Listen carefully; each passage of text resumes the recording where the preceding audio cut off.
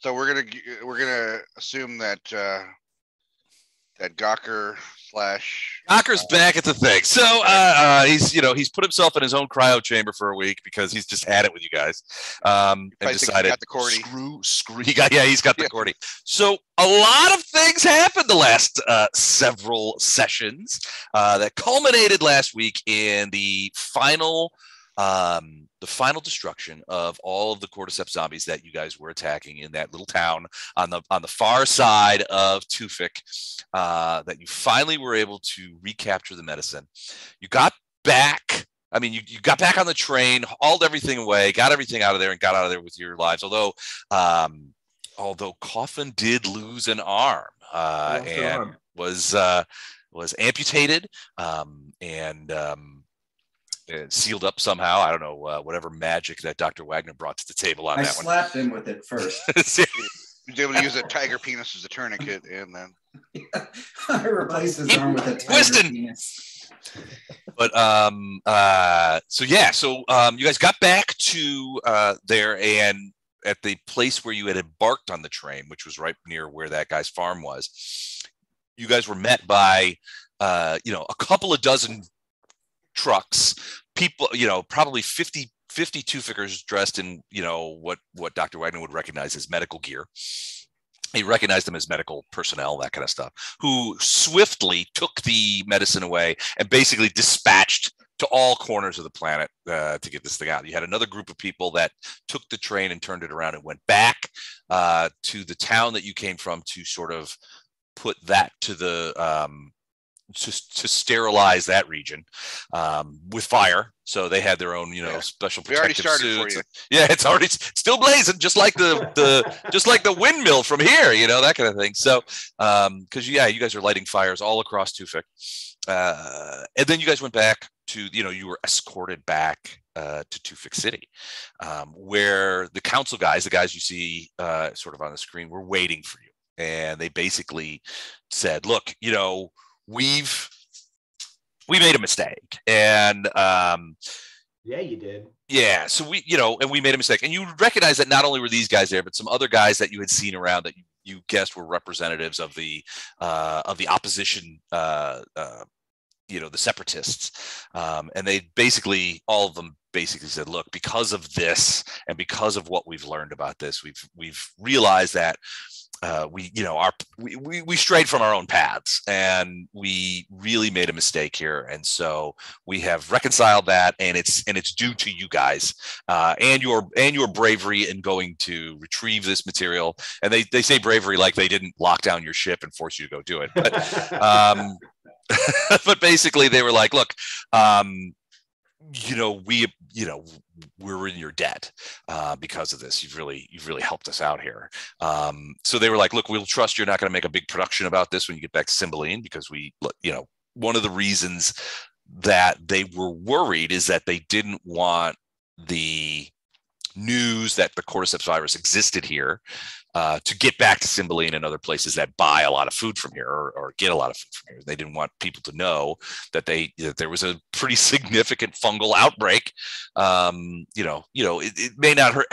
There may not any. There's probably not any problems with the co- the crops, but uh, at the same time, you know how public relations can be and so it would ruin their whole economy. I mean, it's an agricultural planet, and so they still want you guys to sort of keep it under Yeah, if I'm eating Wonder Bread and it can turn me into a zombie, I might think twice. Yeah, yeah, you would, you might, you might, you might say, uh, okay. On the other hand, there would be a, a, a small but vocal subset of people who would say, "Give me all the Wonder Bread. I can't live in fear." Yeah. You ever work in PRLS? Briefly, I thought so. it was as brief a period in working in PR as I could make it. But so it, they they- they're basically like, look, in you know, in gratitude, we want to give you this reward, and they reward you with two full pallets, two hundred bottles of Tufik brandy or uh, Tufik bourbon, which is one of those kind of things that I mean. Let's be honest. You guys are sort of out in the hinterlands here. Cymbeline is not a high traffic area. There's a war going on. Tufik bourbon has a reputation of being unavailable and expensive when it is. You have to know somebody to know somebody, but it has a uh, it has a real reputation for quality. It's like Pappy. Um, you know, you could never get it, but if you could, it would cost you a, a, a mint, and they're basically giving you 200 bottles of it as a way of saying thanks, which represents a pretty significant dollar amount. You know, you guys asked Weber, you know, what does this mean? You're you know you know scotch and whiskeys. What does this mean? And Weber's like, well, I've never I've never had a bottle of Tufik bourbon, but you know the prices that I would you know that I've seen people paying are a thousand credits a bottle. And for Uh, the case and a half that we have to sell, it's going to be we're going to get a good price. Case and a half. Half Yeah, case. there- there's a little spoilage in, in flight. yeah. yeah, there's gonna, you're gonna you're gonna be uh, shy a few uh, a few bottles on the on the flight, but so basically they give that to you, and it and and, and at current prices, it represents something on the order of two hundred thousand credits worth of worth of bourbon, you know, sold to the right to the right place. So, uh, and so they were like, look, you know, that's this is you know our way of saying thank you, you know, for your for what you've done to us, for us, done to us uh, that, that came out wrong. Um, what you've done for us, and um, you know, we've taken we've taken the locks off your ship, and and you know, thank you for everything. You guys ended up staying the that night in Tufik City uh, with Sergey's uncle, uh, who took you around. You ended up at that same club that you went to before, and even while you were there, there was a um, a trio of of medical personnel who came in and began delivering uh, you know, shots to people, um, which yeah, in a in a club seems seems right. Um, you know, of the of the medicine that you guys had retrieved. You know, they were giving every basically they had, you know, scattered across the planet. There's really only about eight to ten thousand people on this whole planet, really in this whole system, um, and they're um, you know they're all sort of like on this planet. So it, it wouldn't necessarily have taken forever to for these people to sort of get to the you know the hinterlands and start and start delivering. But they were in Tufik City and they you know they came in and were giving everybody the shot and make sure that the cordyceps didn't get them and and they seem to have things well in hand. You enjoyed enjoyed yourself, and uh, that like nine thousand eight hundred and change right now on the planet. yeah exactly they, they haven't done anything. Um, We killed a few. and uh, well yeah there's not as many as there used to be. Uh, and uh, the dog population took a little hit too. But um, you guys spend the night in Tufik City, uh, guests of um, you know various damsels that you have met, and if you didn't meet any damsels, then uh, Sergey's uncle. And in the morning, uh, he carted you guys back out in his old gravity truck um, out to the landing pad where the bourbon had already been uh, loaded with the compliments of the of the Council of Elders, and you are free to go. Um, and that's where that's where we ended last time. So it's about a six seven day trip uh, in the in the Slice of Lime back to Cymbeline system. okay. So it's a nice opportunity to sort of reflect on some of the things, all of all of the things that you've done. As you as you as you crack open the first of probably several cases of that Tufik, that excellent Tufik bourbon, and sit around on the um, you know in the on the uh, in the common area of the G and T, good old G and T. Uh, and um, sort of hang around. It's a good time to reflect on sort of what is going on uh, with the crew of the Gin and Tonic and everybody around here. Uh, you don't have this right now, so we'll just get rid of that. But uh, so you guys are on your way back um, to pick up the Gin and Tonic uh, and get. Uh, you know, after the repairs, because you had you have basically put in at Cymbeline uh, and met with Sergey at the behest of Colonel Seventide, who basically said, "Look, I can give you, I can sell you hand weapons, but uh, you know, for shipboard equipment, you really need professionals, and these are the professionals that I would refer you to." So that's how you met Sergey, and Sergey was basically like, "Yeah, we've got this, um, and we will, and we will load Pimping our it." ride. Yeah. yeah, yeah, you guys are uh, uh, pimping out the ride. So um, that said, you've got other things going on. So before you guys came to Tufik, the, the thing that you did before was you spent some time with Colonel Seventide. Uh, and as you were departing with his assurance that um, that Sergey's would Sergey would provide you with what you needed, uh, you know, from a ship's weapon standpoint. Uh, and he provided you what you needed from a uh, personal weapon and armor standpoint. Um, one of the people creatures on the affronter ship the one that uh, you guys um, realized was in the process of genetically altering himself from human to affronter uh, came to you and said, "Hey, look, you know, I wanted to let you know that there was the ship out there we that we use for target practice, but my understanding is that you guys are interested in Ursae, uh, and this was an Ursae ship, and it was very, very far from home. Now, it was now he did say that it was drifting in space." when we uh, finished the job, so to speak. So it wasn't it wasn't under underway or anything like that. And so we just, you know, the affronters being affronters used it for target practice. But since it's an Ursae ship, there might still there, there's there's a there's a wreckage cloud out there that might be of interest to you. And he gave this. He's just like, don't mention it to don't mention it to the colonel. Um, you know, he doesn't he doesn't really like that kind of, you know, me me talking about that kind of stuff. But you know, I used to be human, so uh, I figured you know I'd help you out on this thing. And you guys went out to that ship, took the GNT out there, caught it, and uh, you know uh, parked offside, trucked over there in the slice alignment, took a look inside, found some interesting things.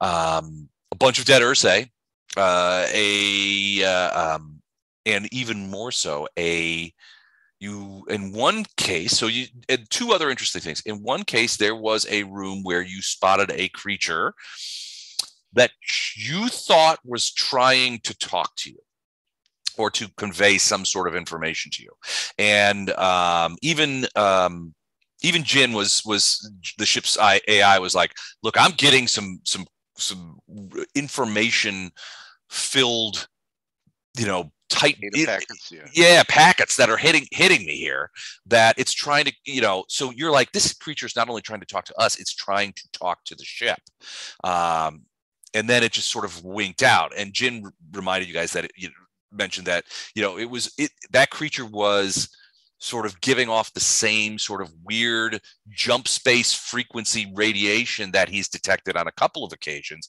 and has at the captain's behest sort of um, begun building sort of a memory bank of of these these signatures these field signatures that he's using to sort of detect these creatures because you've run into several creatures over the course of the last several months in your travels that did not act like any creatures at all, did not look internally like any creatures that you you've seen. I mean, you remember Dr. Wagner had had has in has um, dissected, I think, two of these creatures that you guys managed to cap, kill, and capture, um, and they had no internal structures like any any other living living thing. Dr. Wagner was like, this thing shouldn't be alive.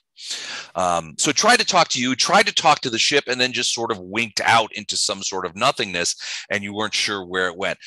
The second thing you found you found on the Ursae ship was some sort of creature in a tank, uh, Melvin, um, who uh, was this sort of um, some sort of creature, the likes of which you'd never seen before. Uh, and you actually decided to take Melvin with you. Here's Melvin. Let's see if this even works. Can you see that? No, it won't work. Uh, it's not going to work. Earlier. Yeah, it was on there earlier. Hold on a second. We got time. Eric, how's the baby?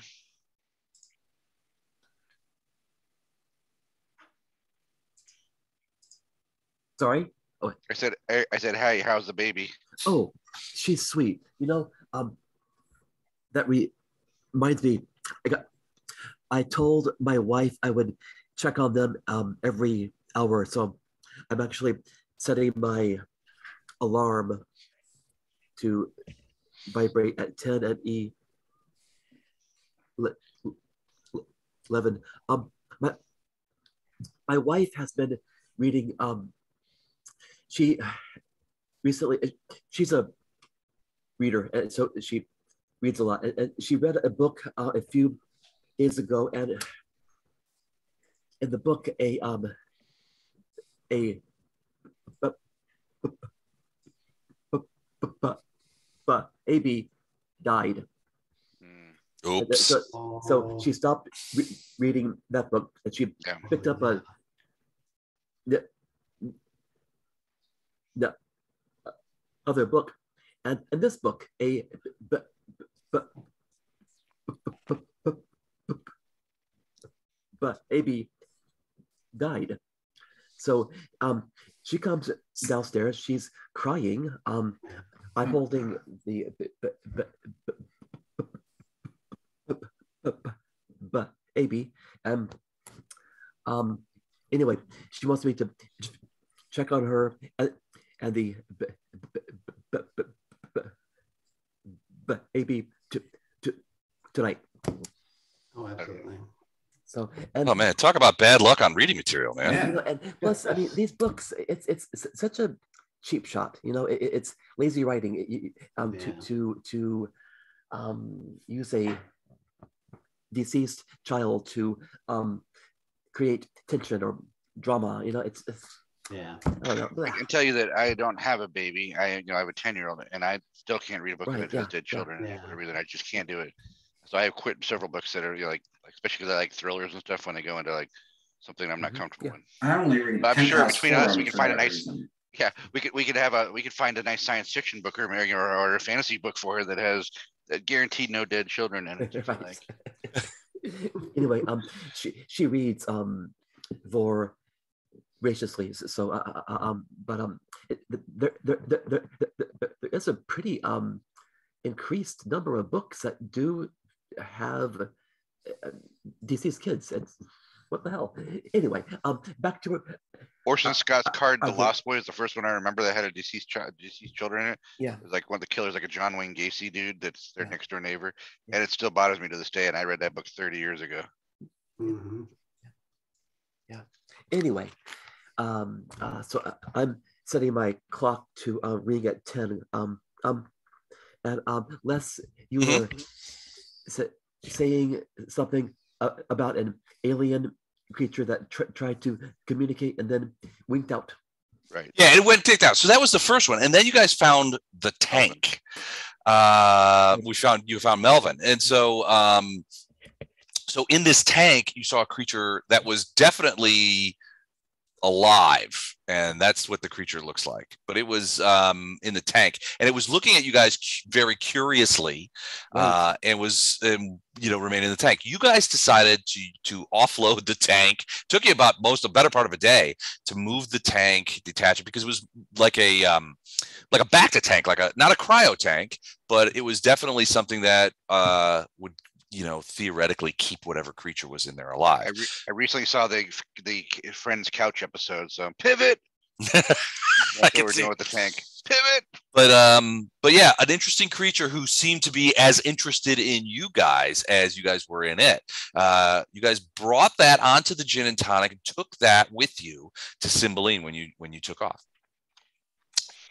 so there's so there's that. You've gotten some of this things. But all of this is if we go back a little further is related to your uh, shall we say the problems that you've had with the ursae at greenpert now greenpert used to be a very friendly place for you guys. You'd spent a great deal of time there until you got kicked out. So um, and you got kicked out because you had gone you were investigating an ursae named kick bandiers uh, who you suspected uh, and had a fair amount of evidence was at least at the very least in charge of the kidnapping of the original scientist that you guys that you guys had given passage to that guy uh, to Greenpert, um, the kidnapper who died en route.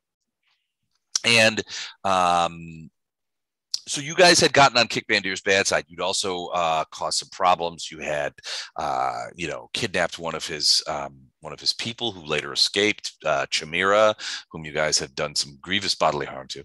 No, no, Um, no, no, no, no. This so Chimera knows. Not all of us did her grievous body harm. Just a, there's a short list of people. There's two was not a exactly. Doctor uh, Captain Black and I completely squeaky clean on this. Um, where did we leave her? She escaped. She She escaped the gin and tonic at Green at Greenpert. Well, and that was the thing. You guys had where the legend of the soup spoon was born. Right. you also you also found a fair amount of of data. So you were able to access to to a, a, a really sort of limited extent the AI on the on the busted out uh, Ursae ship, and uh, you know, cause it was you know partial, obviously because of the damage, but you found that there was uh, some solid state memory on there, very rudimentary AI. That this was the sort of thing that would run a, a factory ship or something. Was the generally what the ship was, but you did find a couple of things in in the data cores there you found that there had been uh, a general exchange of messages uh, audio visual messages with a ship called the, the penny dreadful uh, uh, which you also know is commanded, uh, you found is commanded by someone named Viterbo Lamonte. Um, you know, it was encrypted. Maybe it's possible to decrypt those messages. You don't know. Um, you saw that this particular ship went from Kukulkan to Greenport back to Kukulkan uh, and was going back and forth for approximately three weeks. Then went to Hex 2731. So let's just go over to the star map, see if we've got anything there. Yeah, I think we've got this here. You guys see? Oh, I guess I, I guess it doesn't work if I don't send you guys over to the star map. Uh, so you can sort of see the um, the travel that it did in the in the red line. So was started at Kukulkan, went to Greenpearl, back to Kukulkan, and then uh, Kukulkan, as you know, being the Ursae home system and then came up here and spent about three weeks in this hex. Now, as far as you guys know, there's nothing there. Uh, it's it's empty space.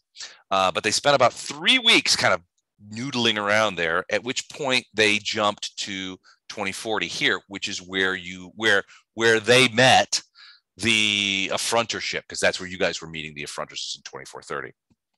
Um, now, according to that guy on the affronter ship, he's like, look, when we stumbled across this vessel, it was dead in space uh, and just sitting there. there. And, and, you know, he, he would have mentioned, like, look, we just, we could tell there was life signs on it. We could tell that there were still regions of the ship that had, that had, um, you know, life support uh, going on. But you met the affronters. they don't they don't care um, about that kind of stuff. This was a there was a ship that was all alone and a long way from home and not doing anything interesting. So they were they felt fully fully reasonable in their in their um, uh, uh, using it for target practice. Um, there's no data as to where it was planning to go after leaving 2430. It never left 2430. The wreckage is still there.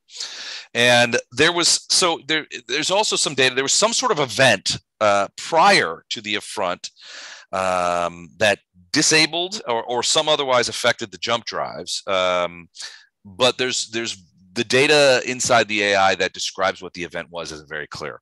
Um, Ursae words are are, are the, the, the language is Ursae, which you guys don't really know, and they're they're technical, so it's hard to translate directly. But there is a reference to a multiplanar acceleration module. Uh, this is not something that you looked for or found on the on the ship. Might have been destroyed by the affront. But that's a that's a technical term that you guys have never heard heard heard before. Sounds aftermarket. Sounds it definitely sounds aftermarket. So that's so that's kind of what that. So you guys had come around here, met with the affront, hung out with the affront for a couple of days, had some fun. Uh, I, I, think we all recall fondly the big tiger hunt, which was just a, a fun time for everybody. Um, uh, and and a, a, a, great way to collect penises, um, as Dr. Wagner will point out. and you go out your guns and you headed out to Cymbeline. Uh, before that, uh, at Greenpearl, you'd run into some trouble. You had been following around Kick Bandiers, trying to get back, uh, trying to figure out what they were up to. And uh, at the very least, trying to accomplish and find out more information on behest, behest of the Spofulam Corporation, um, where, you know, why these Ursae are kidnapping scientists. What you didn't know was that Greenpearl was serving to a certain extent as a transshipment point for these scientists, which you discovered as you had staked out an Ursae warehouse after tracking their movements uh, within the station. Um, you guys were able to track them to this warehouse. You staked it out for a while, then you went in and uh, almost immediately got into gunfights with Ursae guards and that kind of stuff. Down in the bowels of this warehouse, underneath it, unbeknownst to anybody, um, was a highly secure laboratory, which you guys penetrated, um, fought, and killed several more guards, uh, and ultimately found yourself face to face with a kidnapped scientist uh, who explained to you, "Don't come in here; it'll set off." It'll set off the booby traps. He explained to you that there was a creature that they had contained in the uh, in in some sort of containment vessel, and that's what he referred to it as, as a containment vessel. Uh, and that opening uh, him up, releasing him personally to science, would release the bolts on the containment vessel, and nobody really knew what was going to happen then, but it was going to be problematic. You guys thought to hell with that. We're uh, uh we're gonna. I think somebody actually shot May the through the record screen. reflect that this group said that sounds legitimate. We'll stay out here. But a member of our party who's no longer with us said, "Fuck all that." Are you referring to the general? Yeah. The So, yeah, so uh, the scientist exactly was a lion. you're talking about. the scientist was a lion. Uh, he uh, uh, uh, he whacked uh, the the the the, uh, the laboratory was breached, uh, and something went wrong, and an explosion occurred. An explosion that caused enough that was powerful enough to pierce the outer hull of Greenburn Station and uh, cause you guys all to be placed under arrest. the general's got himself out of it, and your connections with Bill Scaramouche and the rest of the uh, guys got you guys out of it. But the Ursae filed a complaint, a, a, a legal complaint for destruction of property, um, you know, various various murderings, um, and basically Bill Scaramouche said, "You guys got to get off site, otherwise there's going to be a huge problem." It And was even until Dickless shut off the power. is that true? What's the response? Is this Yeah. true? it's true. This bear has no dick. Bear has no dick. um, so yeah, so you guys managed to get to back to the ship, and Bill Scaramouche uh, basically got you off thing, but you were followed by a couple of Ursae ships who were like, "Return to Greenport Station. You are under interdiction," and you were like, uh, "No." And so you guys skedaddled out to the Lagrange point, hit the jump drives, and began sort of meandering your way around over to um, over to Cymbeline at that point, or to meet the affronters at that point. So yeah, so you're under sort of interdiction. You're not sure that I mean you did receive. I think it was, I think it was in Calgary when you did receive some information that you guys were being um, that that a formal complaint had been filed with the Terran Legal Authority, the TLA, um, who uh, you know that the Ursae were that, and basically the thing was, look, as long as you're not on Terra in front of the Ursae embassy, um, you know nobody's going to be really rushing around to try and to try and throw a net over you guys as long as you don't you know make a make a make a point out of out of pissing off the Ursae. However, you are two steps in that direction, so uh, you know good job there. This Hey, is well. this is all in response to your original sort of charges after you left Emix, which was um, get revenge for Palmer and and Jackie Boy, and uh, find out why uh, the Ursae or whoever is doing it, the Ursae they assume, is kidnapping corporate scientists and spiriting them off. And you'll remember that when Yamazaki had some pictures that had been acquired by one of the kidnapped scientists and somehow transmitted to Spofulam Corporation, which which she shared uh, with you, and they were very um, uh, they were very odd. Oh, okay.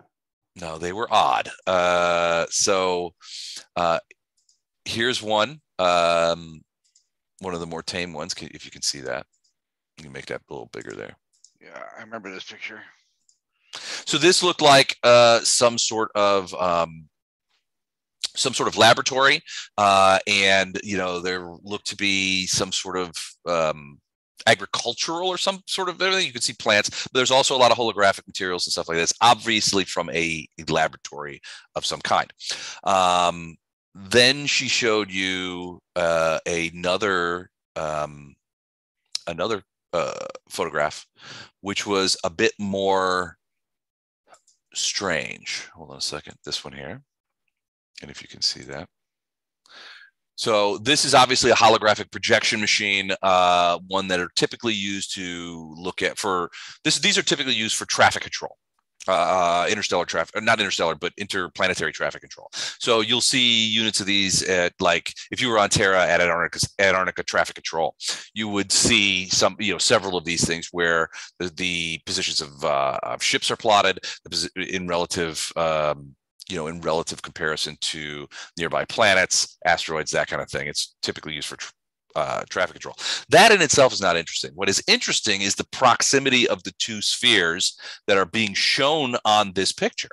Uh, and those of you who are familiar with these with these traffic control um, holographic projectors would realize that something that actually looked like this if this was if this was a hologram of an actual situation that was occurring inside of a planetary system anybody on that uh, on either of those two planets would be in very grave danger indeed because this essentially indicates two planet-sized bodies in physical what, what looks to be in physical contact with each other which as as we know from physics causes any number of problems for the residents on those planets now you can't get an idea of scale here, although the right side, uh, the right side sphere does seem to indicate this is this is typically what a planet-sized body, how a planet-sized body would be represented. Uh, what the left side sphere represents with the multiple levels and the and what looks to be fields at the at the northerly and southerly ends. I mean, you never. Those of you who are familiar with these holographic projectors have never seen anything like this before. But if these represent planetary bodies, there's a lot of destruction going on in this picture. and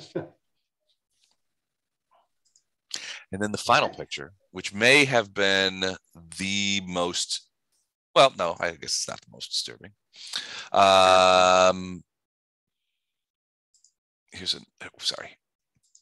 Here's another picture which uh, again shows what look to be the interior workings of some sort of laboratory. These are this is a pretty sophisticated um, uh, sensory array. Those of you, so this is where Tam would probably step in and say, "Look, this is this is um, you know a, a planetary level sensory arrays."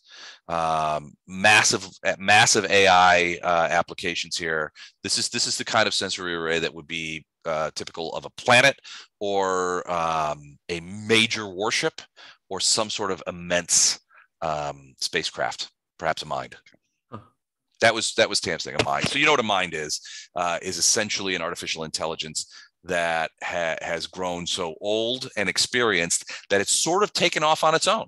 And some of them have accreted to them or found themselves put into incredibly large spaceships. In some cases, um, you know, uh, uh, I, I, not planet sized, but certainly moon sized spaceships. Um, that are essentially these enormous spaceships that are driven by a, a mind uh, with a capital M, which are uh, these enormously complex and experienced AIs. The uh, I was going to say about those AIs. I felt like there was there was something to add there. There's not that many of them, as I recall. Like I think we had this conversation. There, they're definitely out there, but there's not like millions of them. There's no, there's probably hundreds that, that throughout the too. Or yeah, but yeah, but it takes time and it takes effort and it takes a great deal of. Oftentimes, it takes a, a great deal of mm, uh, you know money uh, to create these these kind of things. The start of any any mind uh, it has to start out as as some sort of you. Most of them start out as major. Think you guys have the naval you i mean you, the gin and tonic is sort of the naval equivalent of sort of like a pt boat right Uh, it's you know, or a um, or a, or, a trawler, right? It's a it's a it's a commercial ship um, up until Sergey and his guys get done, um, and then it's something other than a commercial ship. But um, yeah, it's like a like a trawler, and Djinn is a pretty powerful AI that runs it because there's a because it's a big trawler, but it's essentially a commercial ship. An AI, a mind AI, would have had it start in something equivalent to the AI controller for a immense aircraft carrier. So more, you typically will see AIs grow out of large military craft, um, and sometimes they uh, they stay in those craft and become, uh, you know. Uh, you know, essentially the leaders of, of, of system-wide fleets, you know, military fleets. But a lot of them, once they get to a certain size and experience, and keep in mind, it usually takes 50 to 100 years before even a really sophisticated AI could turn into a mind. It takes time um, because intelligences evolve. And a lot of times, if you've sunk if you've sunk a lot of money into an AI that runs your battleship, you're going to put some electromagnetic shotguns against its head to make sure that it doesn't go cuckoo. Um, but yeah, so there's a lot of different things that have to happen before an a, a large an AI, however sophisticated, however large, becomes a mind. Because minds are typically independent. Now there has been speculation that there are organizations of minds that get together uh, and you know do things of that of their own decisions. But generally speaking, most minds, even even the more loquacious ones, have will will neither confirm nor deny that they have their own associations. So, I mean, there are there are instances where two minds find themselves in the same system, and typically they will act cordially with each other, sharing information, sharing data. But all of that is done. Um, you know, they don't speak to each other in any in any manner that a that a, a human or other sophont would be able to. There's a good book that came out last year called "To Sleep in a Sea of Stars." It does a lot of jobs describing various sized AIs wandering the wandering the galaxy. Mm-hmm. Among What's among other things. What's it To called? Sleep, to sleep in a sea of stars. Okay. I'll put it in the chat there. Yeah, please do. Sounds like a good one. All right, so that's some images that um, were able to be um, extracted, uh, and this is something that when Yamazaki, when she showed you these these images, basically said this is something associated with what Ursae are talking about. Uh, they have a, a something called Project Orobus, O R O B U S. We don't know what that is. We don't know what they're doing and there's very there's a limited amount of information that we can gather from this and most of it prompts more questions than it answers but um, but that's essentially what the ursae are calling it in their own language and for whatever reason they are stealing scientists for this project Orobus now then she goes there are we had a um, we had a scientist that we were able to retrieve uh, a woman named named Dr. Engur Wacha, who was a xenobiologist. She disappeared uh, in August of 2483, and uh, we were able actually to we we were able to recapture her through through methods that I'm not necessarily going to. We were able to get her back. Let's put it that way.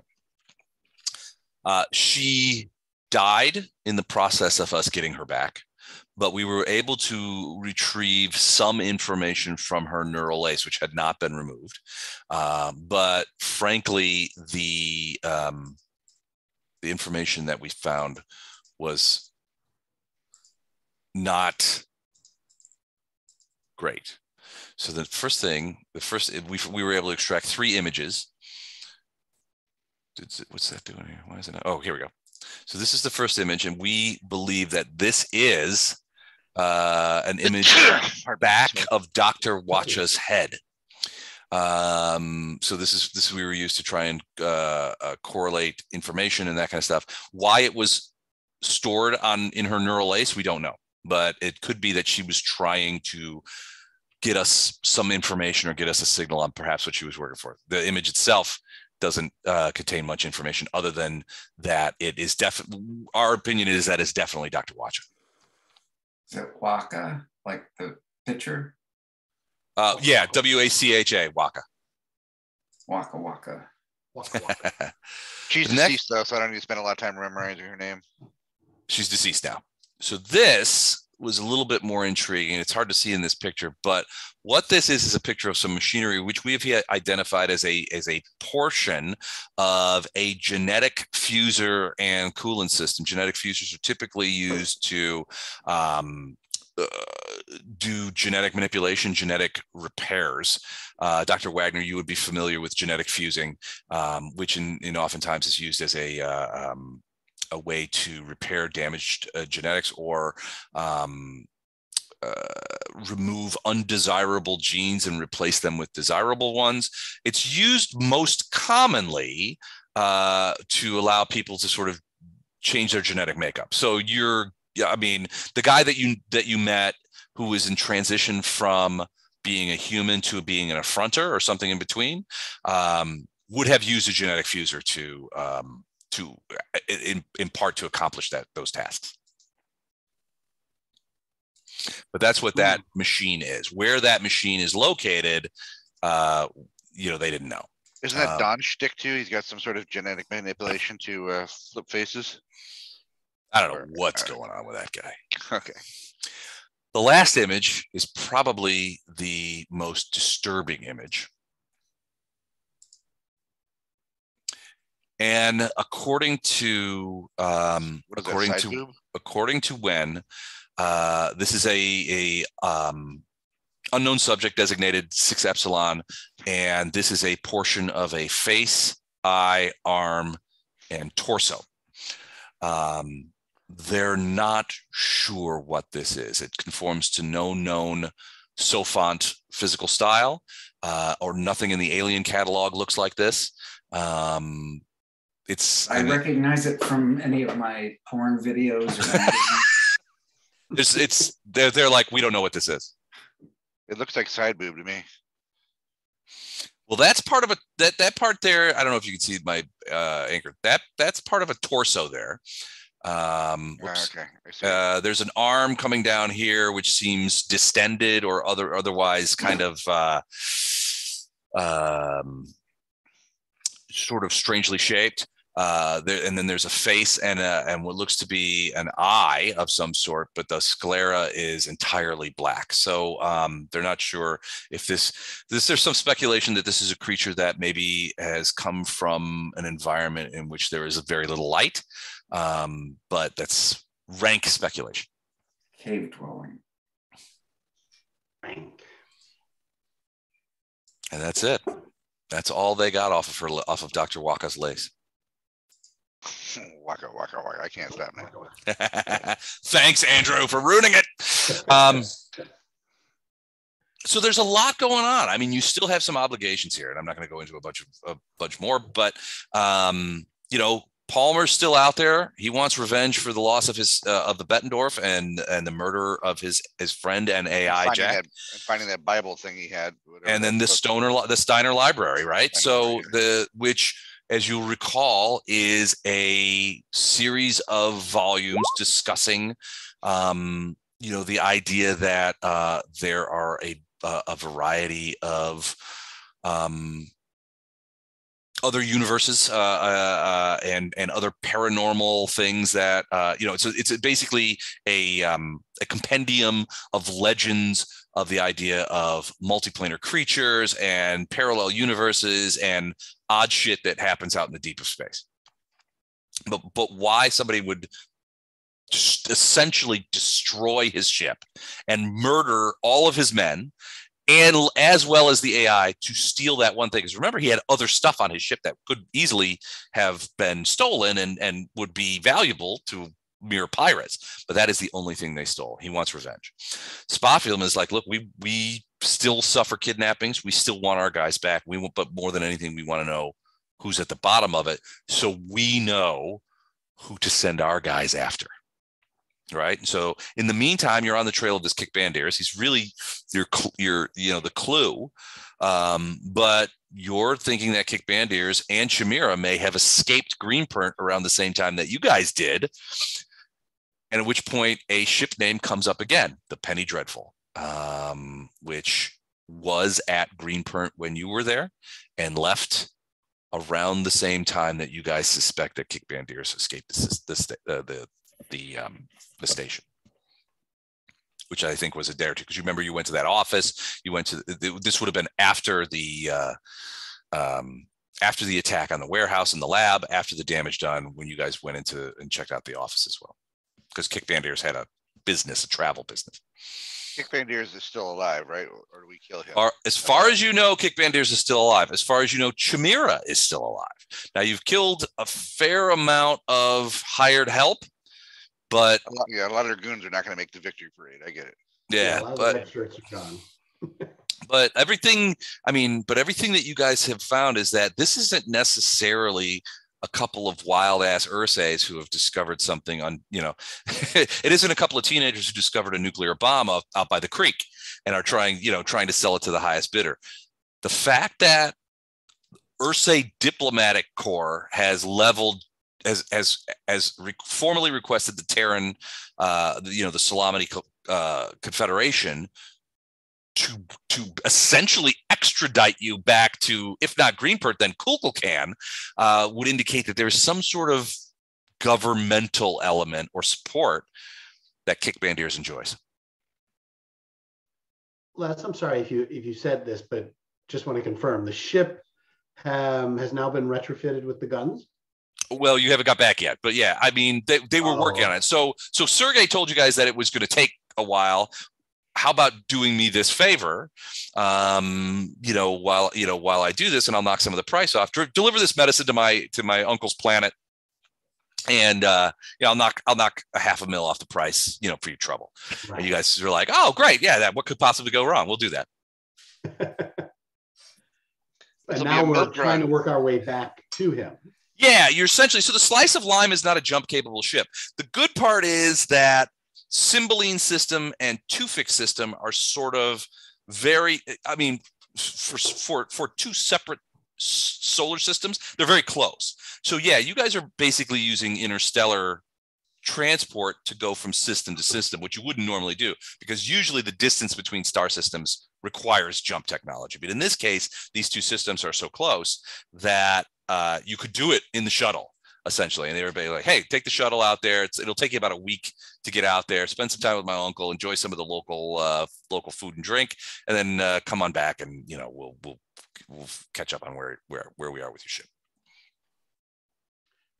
So all of this stuff that you just told us, though, like you said, we've got other um, obligations and stuff we need to do, but we're not going to do any of that until we get back to the gin and tonic, right? Well, I would. It, I, I wouldn't think so. If you guys wanted to start haul assing across interstellar space in a shuttle, I mean, technically it's possible, No thanks. but it's like, I mean, it's yeah, it's that's basically the rest of your lives.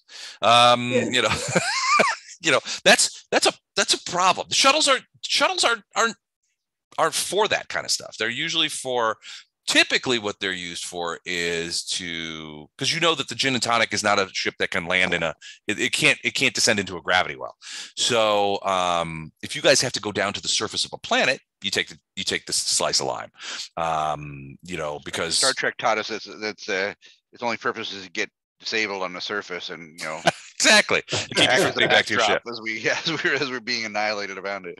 Go look behind that rock, red shirt. But um but yeah you certainly want to wouldn't want to uh Tufik system is easily the uh, uh the exception rather than the rule uh in that the it's it's proximately close it's still kind of a haul i mean seven seven days one way and inside your shuttle which is not huge um is you know i mean you guys are going to be ready for a shower and a shave when you get out of there um especially with all the drinking that's probably going on but um but yeah, it's doable. If you wanted to take it, the shuttle, if you want to take the slice line from Cymbeline to like, for example, Ember, uh, that might take months, if not years. Okay. So we're on our way back to the gin and tonic. Mhm. While we're going, we're talking about okay, once we pick up the gin and tonic, what's next? Well, right, yeah. So uh, Sergey and his guys, he's basically mounting the uh, the the weapons that you've ordered onto the ship and doing the AI conversion so that um, so that Djinn can control can control those weapons from a from a computer standpoint. Um, he said that would take three weeks. Uh, so you guys have been Hold on, let me let's go to the notes. Supposed to be a three-hour tour. supposed to be a three hour tour. So yeah, so you guys um were uh um it took you it took you about six days to get to Tufik. Uh you spent four or five days on Tufik. I want to say something like five days. Like weeks. Uh and then another seven days back. Um so we're talking about you guys when you guys will arrive you guys will arrive back in Cymbeline plus 17 or 18 from when you left. And how long they say? They said three weeks, maybe four. So it might you might get back and the ship might not be done yet. Yeah, but sometimes they tell you that knowing knowing you can probably get it done sooner. Over promise and under deliver. Yeah. So yeah, I mean, the opposite. legitimately, I mean, uh, it, it, it may not be done. Well, but it doesn't matter. Even if it's not done, we got to sit and wait for it. It's not like we're going anywhere. Yeah, you do- yeah, you wouldn't wanna leave. You wouldn't want to leave before the before the uh, uh, repairs are complete. No, absolutely not. Yeah, I'm sure we, we still have to acquire maybe additional hand weapons. I think we're all pretty well loaded for bear, but um, maybe acquire some other ammo. stuff or get into. Uh, I'm sure we have ammo on the ship. We just didn't have it on us on the surface. But, um, or uh, also get uh, um, into trouble on. Is it Cymbeline we're going to? Cymbeline system, yeah. Yeah. I'm sure there's something we can get into in trouble in Cymbeline. We could also spend some time re- maybe doing some Z- uh, Zoom meetings there and reaching out to some of our contacts contacts around the galaxy and get some updates on things. I mean, I think Les just did a great job reminding us where we are. What two years into this adventure? When did we How long have we start playing? playing? I think it might be closing in on two years. Hold on, I I, I, I can I can actually answer that question because I have been uh, reconfiguring the YouTube channel um, and dividing up. I all I had all of our videos. We had like 220 videos that we've done uh, on YouTube, and they were of all different kinds of games and stuff like that. Um, How many? Uh, how much money you've you made off the 50 clicks you've gotten to your video? there's, there's no money. I, I, I- you know, I don't think I've gotten 50 clicks. I got to be honest with you. Uh, so classic travel, we've had 21 videos, and let me go see. I'm going to go see the the earliest one is. Oh, I guess not. Uh, well, yeah, closing in on two years. So the earliest one that I can see here was logged uh, April 26th, 2020. So yeah, coming up on two years. It's April, two years. Yeah, 20 April tw- April 6, 2020. We were like, well, let's just play this real quick. I mean, how long can this pandemic go on? Yeah, exactly. It's probably nothing. You know, by the time we by the time we get done here, we'll have a couple of adventures. It'll be fun, and then nothing. I'll be out. I'll be out in the mosh pit again, doing, you know, crowd surfing, all the fun stuff. Well, so that that actually leads me to a question that I wanted to ask you guys about, and you know, just to, to meta for a second. Um, you know, we're we're playing a rule set here that has a lot of bumps and nooks and crannies in it, right? There's a lot of things left out, that kind of stuff. Um, you guys have all said that you guys are enjoying playing this, and and I'm happy to DM it. I'm I'm enjoying DMing it. Um, but I wanted to ask if at some point we you guys thought it might be interesting to convert to a more modern version of traveler which which would be largely similar in rule sophistication to most rpgs that we that are the most modern rpgs the You little black little RPGs, Are you talking about Pathfinder or are you talking about Pathfinder 5e, uh, you know, Call of Cthulhu, you know, the, the latest iterations. I don't know. Or do you like this rule set and you're just like eight or better is good for me? Uh, yeah, I, I like it, this is simple. I don't have to. I don't need to have uh, Mike or Don talk me through every rules every week. I'm like, how do I do this again? I go, oh well, sorry, you didn't. Uh, you didn't factor in these three uh, impulse um, turns into this, but yeah, yeah, I'll do whatever you want to do, Les. I'm I'm fine with what we have most of the time. I, I'm okay either way. I wanted to find out what you guys wanted to do. Uh, um, It's kind of like going to Westworld. It's or Western world. It's, you know, visiting the past.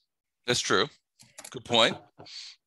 Yeah, Eric, if you you ever were gonna- you want to play Boot Hill, I'm like, oh god, we can't play that system. Or top secret. I always want to run a Well, I'll top be secret game. I'll be dead in Boot Hill in the first adventure. Eric, you you were about to say something. that uh, uh, um, I've been having a blast with um, these traveler games and um, um, wh- wh- whatever platform we use, I'm ha- ha- happy. All right. I'm I'm perfectly content to stay with the little black books. I mean, it's kind of it's kind of I mean, you guys, uh, uh, it's kind of fun from a DM standpoint where I go looking through the books and I'm like, there must certainly there's a rule that covers this, and no, no, there's no rule. So I'm just like, well, how am I going to handle this this bullshit? My- Because my- uh, I don't know. There's nothing going on. My original concern when we started playing this and I saw the original like stuff you were sending over looked like, you know, mimeograph paper, or whatever, like they're not gonna factor to any of modern technology that we already have into this quote future. and but I thought you've done a good job managing, you know, expectation and also describing what isn't, I don't think, thoroughly described in in the original literature. Well, one of the things that, remember- that uh, go ahead. Sorry, go ahead. So Les, that's I want to build on that because this is something I've mentioned to you before, but I'm going Uh. to mention it again because I want to ask you. Uh-huh. This is hard on you, right? There's a This- lot of rules missing. There's not a lot of material for it. There's nowhere for you to go grab. You're taking on a big hit here. Are you okay with that? Yeah, Maybe absolutely. I gotta be honest- on him. I got to be honest with you. I have been, I had wanted to do something like this for a long time, uh, and uh, it is, it is more onerous. I spend more time in prep for traveler games than I typically will do for any on a session by session basis than I typically would for another game. Absolutely, probably twice as much um, prep. Largely in part, that has to do with the fact, and I think you hit on it, Dan. There's not a lot of material for this game, and my oftentimes my preferred way of of DMing is I take pre-made material and I'll add homebrew elements or I'll change things around and uh, while maintaining sort of the overall story arc of the of the pre-written you know other other person written material. There are there are teams out there that go full on homebrew. They do everything. They create their own worlds and all that kind of stuff. I don't I don't typically do that. I don't have the time, frankly, to create an entirely new world. But um, but largely what we're doing here in in Traveler is is homebrewed. So I've t- I took the original books, I added AI, I add I I subtracted That's what I'm talking the. Uh you know I added more technology, more reasonable reasonable technology. The weird thing the weird thing about original Traveler is it sort of has this it's like somebody said, "Wow, that Dungeons and Dragons game is really good. Let's take that and add laser guns." Yeah. Um because they have the equipment list and like, what do I need a spear gun for? yeah, why do yeah? There, there's like an, an EP, you know, like this weird sort of uh, you know uh, fencing kind of stuff, and then they overlaid it with all this very sort of feudal esque aris- space aristocracy.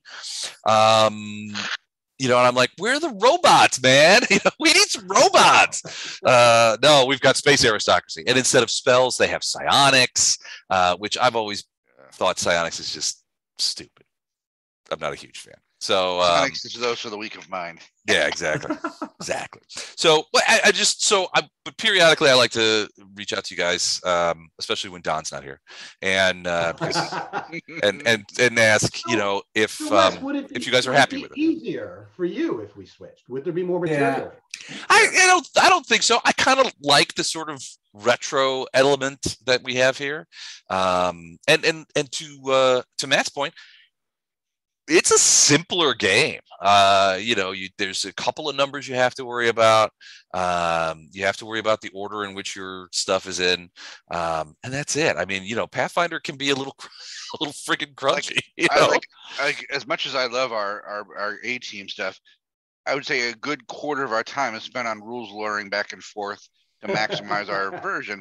Now that Yeah. sometimes benefits us, sometimes doesn't benefit you, but we don't have that here because you say uh, blah blah blah, and we go, yeah, that sounds about right, and we That make sounds right, yeah. Whatever, yeah. I don't think that we've ever had a, like a, a real argument where we got to like, I'm sorry, we've got to call we call call our expert witness Mike to the stand to tell you why, why Les is wrong for the It's next an 15 minutes. Conversation, yeah. I'm like, But- I but are we- have us a talking rata from a going to uh, Dragon though, magazine right? of 1984 that tells you that uh, Gygax versus Mason that uh, that you were wrong, Les. But but we're not talking about going to Pathfinder, right? You're just talking no, about- they have so so They have Starfinder. they have Starfinder, but I've got I've got problems with that too. so my problems with Starfinder are the fact that they have guns and spells in the same thing. And I've always been of the, they want in- to do in the same game. Spelljammer, right? Yeah, they want to do Spelljammer. So and it's like I've always been of the opinion that if you live in a society that has magic, uh, there are certain technological things that simply wouldn't get invented because they wouldn't need to be invented. Um, and if you have a society that has technology, you shouldn't have magic too. Uh, I think the two should be separate. If you want to have a if you want to have a space game, have a space game. If you want to have a fantasy game, have a fantasy game. But you don't want to have a space fantasy game. I, I just and Starfinder is definitely a space fantasy game. There's another game called Numenera, which has a lot of the same elements, and I think it's frankly a much more sophisticated product than um, than Starfinder. Uh, but even then, they they do so much mixing of of you know technology and magic that it's sort of like it tries to be everything for everybody, and I think it fails in that way. Like Um, when you tell me, I- like, oh, they got all the stuff on the on the drive. You can read all the 80 source books, and I can get like a character that's mid max, like uh, Gordon's or Mike's or something. Like, Mhm. nope, I'm good. I'm good. Yep. Just limping around with what I got. Yep. and so, the- uh, more what I was thinking of is that just recent. I think it's just recently, Mongoose, who's the parent company, uh, yeah. yeah, who does Traveller, recently came out with. I believe they recently came out with, or they announced they are coming out with, Traveller, and I think it's sixth edition. Um, Maybe check and it out when it comes. yeah, so and I just didn't know if you guys had heard anything about that. Personally, perfectly happy going the way we're going, but I just wanted to make sure that you guys were also happy with that because if, you- if you No, guys I'm were happy. not, Like I said, the things that I uh, that I was really concerned about when we first started, you sent us over like the mimeograph sheets of like, here's your equipment list, and we're like, I can get a vest and apparently a, a space derringer. Hmm, that doesn't sound that awesome, but like, and then Well, there was no AI in there at all. No I'm like, who's who's carrying a sword on a starship? It's just not going to happen. Nobody's carrying around a big knife. Um, you know, You're it's like, are you low tech? Do you need a club with a spike in it? I don't know. Can I afford that? it's just crazy. So, and you can get uh, and you can get skills in it. Like I have broadsword minus one, and I'm like, on what planet are you going to need that? I don't know. Uh, all right, so we will uh, we will carry on as per until somebody complains. Can we can we have one other uh, one other discussion? How come Traveller, which has messed me up for my my entire life, uh, is does not spell like traveler the word traveler, like traveler? It's got two L's. Yeah, I'm like, who added that extra L for space? I, is probably a Mongoose a. British company? Uh, probably. Well, I mean, originally was GDW, right? Which is a. British company. Yeah, Games Design Workshop. Yeah, they're they are British. Maybe it's the British spelling.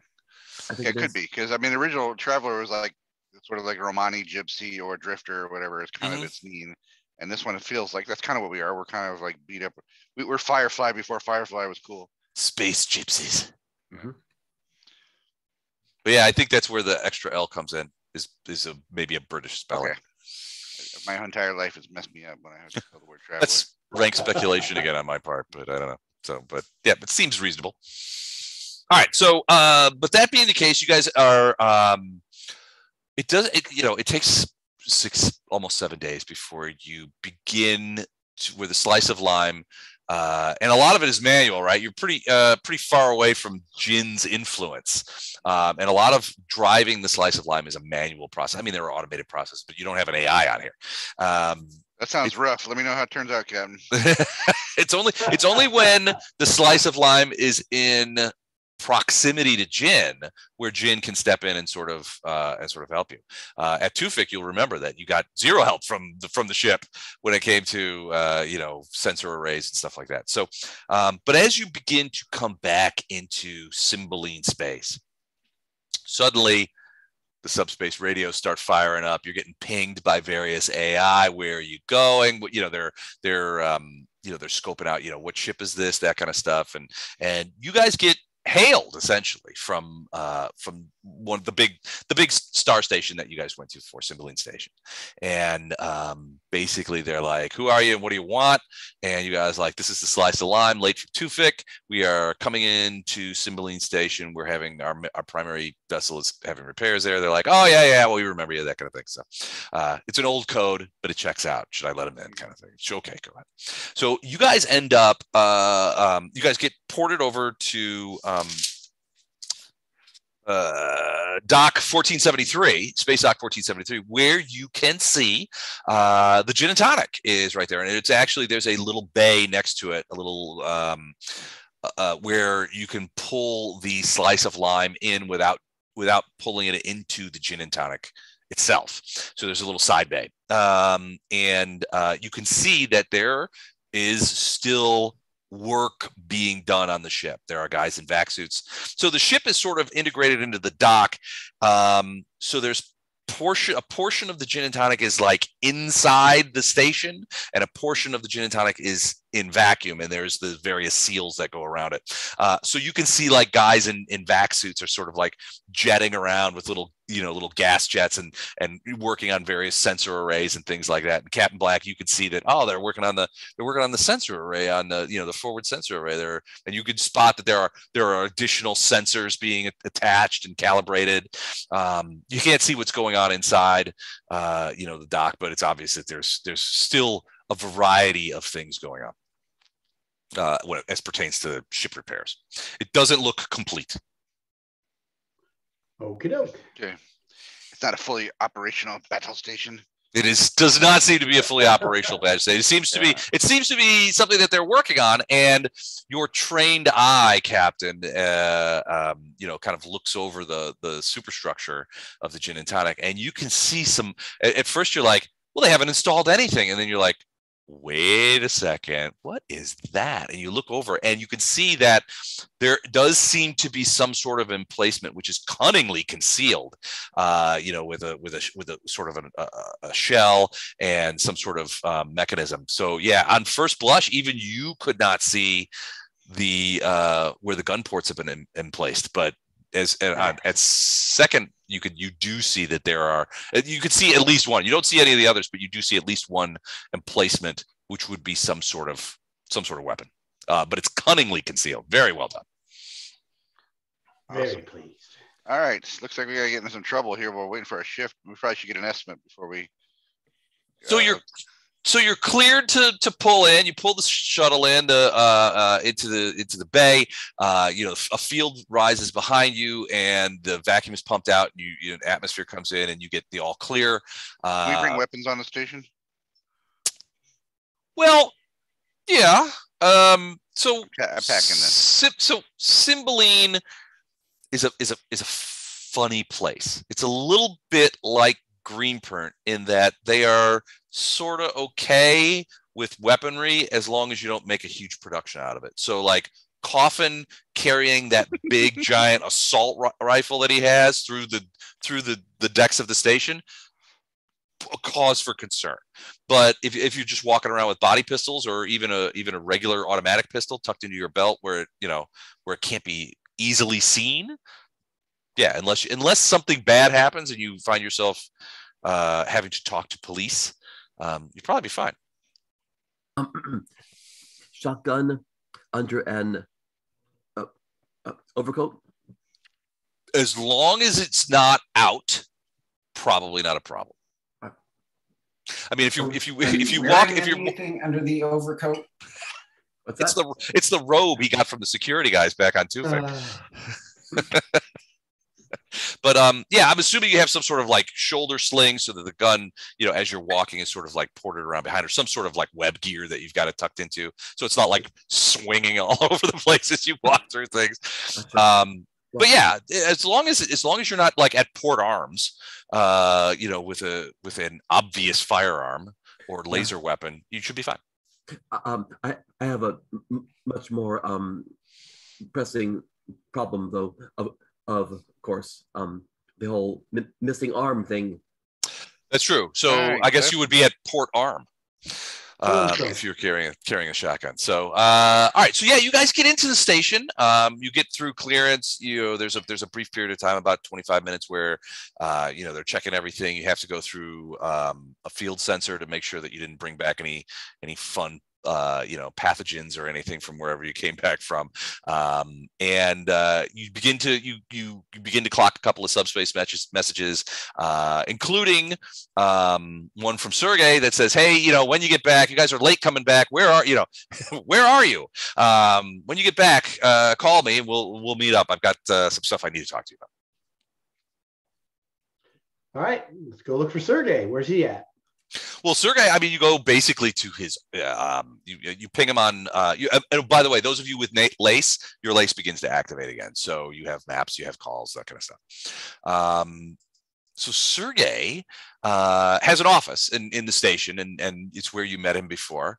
And uh, you would probably go there to meet with him. Okay. Ooh, cool artwork.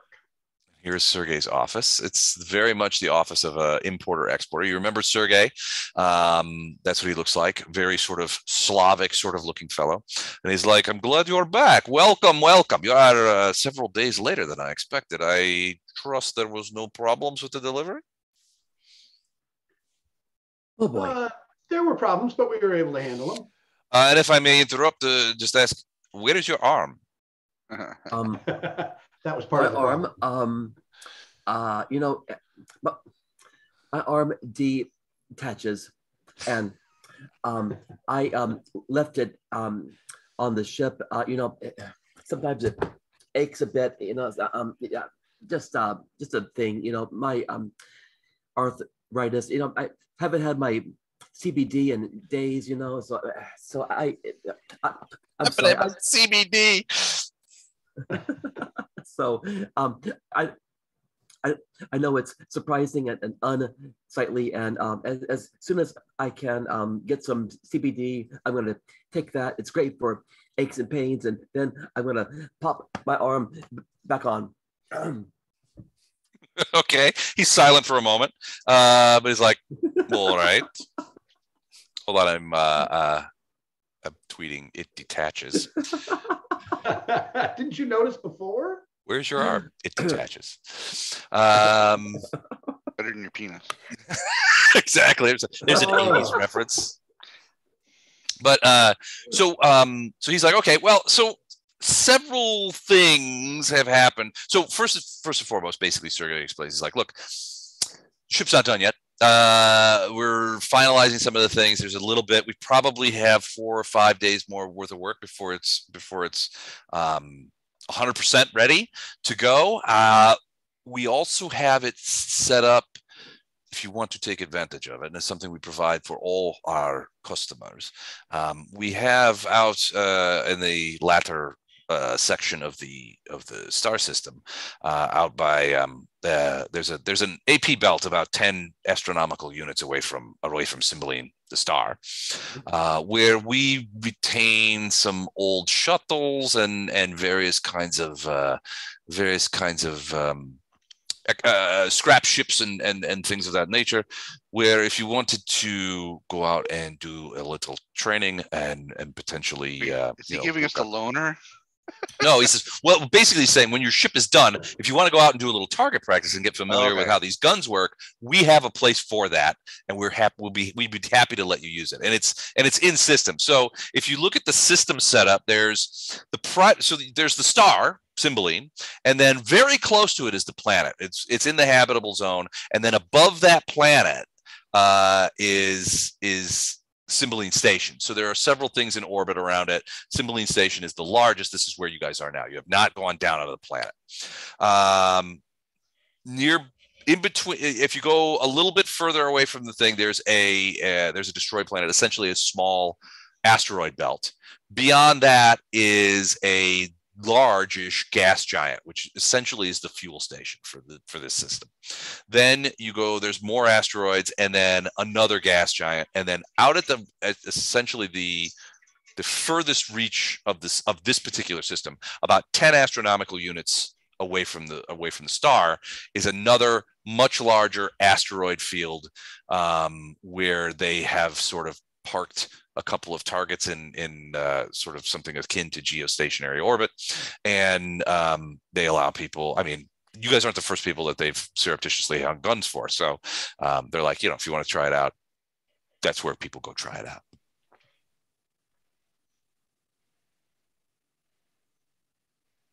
Is Thank that you. something you want to do? thank you thank you Um, so we did have there were some complications. Uh, so we were, um, so Sergey tells you that. So first things first, uh, I've met your friend Miss Yamazaki. She was actually come. She she came to Cymbeline about a week and a half ago. We had had some difficulties with the AI uh, and upgrading the AI. There was some anomalous readings and some anomalous. Um, uh, Talking about Djinn. yeah, and with Djinn, there were some anomalous readings and some and some issues that we had when we tried to do the standard, uh, you know, f- um, weapon-related upgrades to the AI.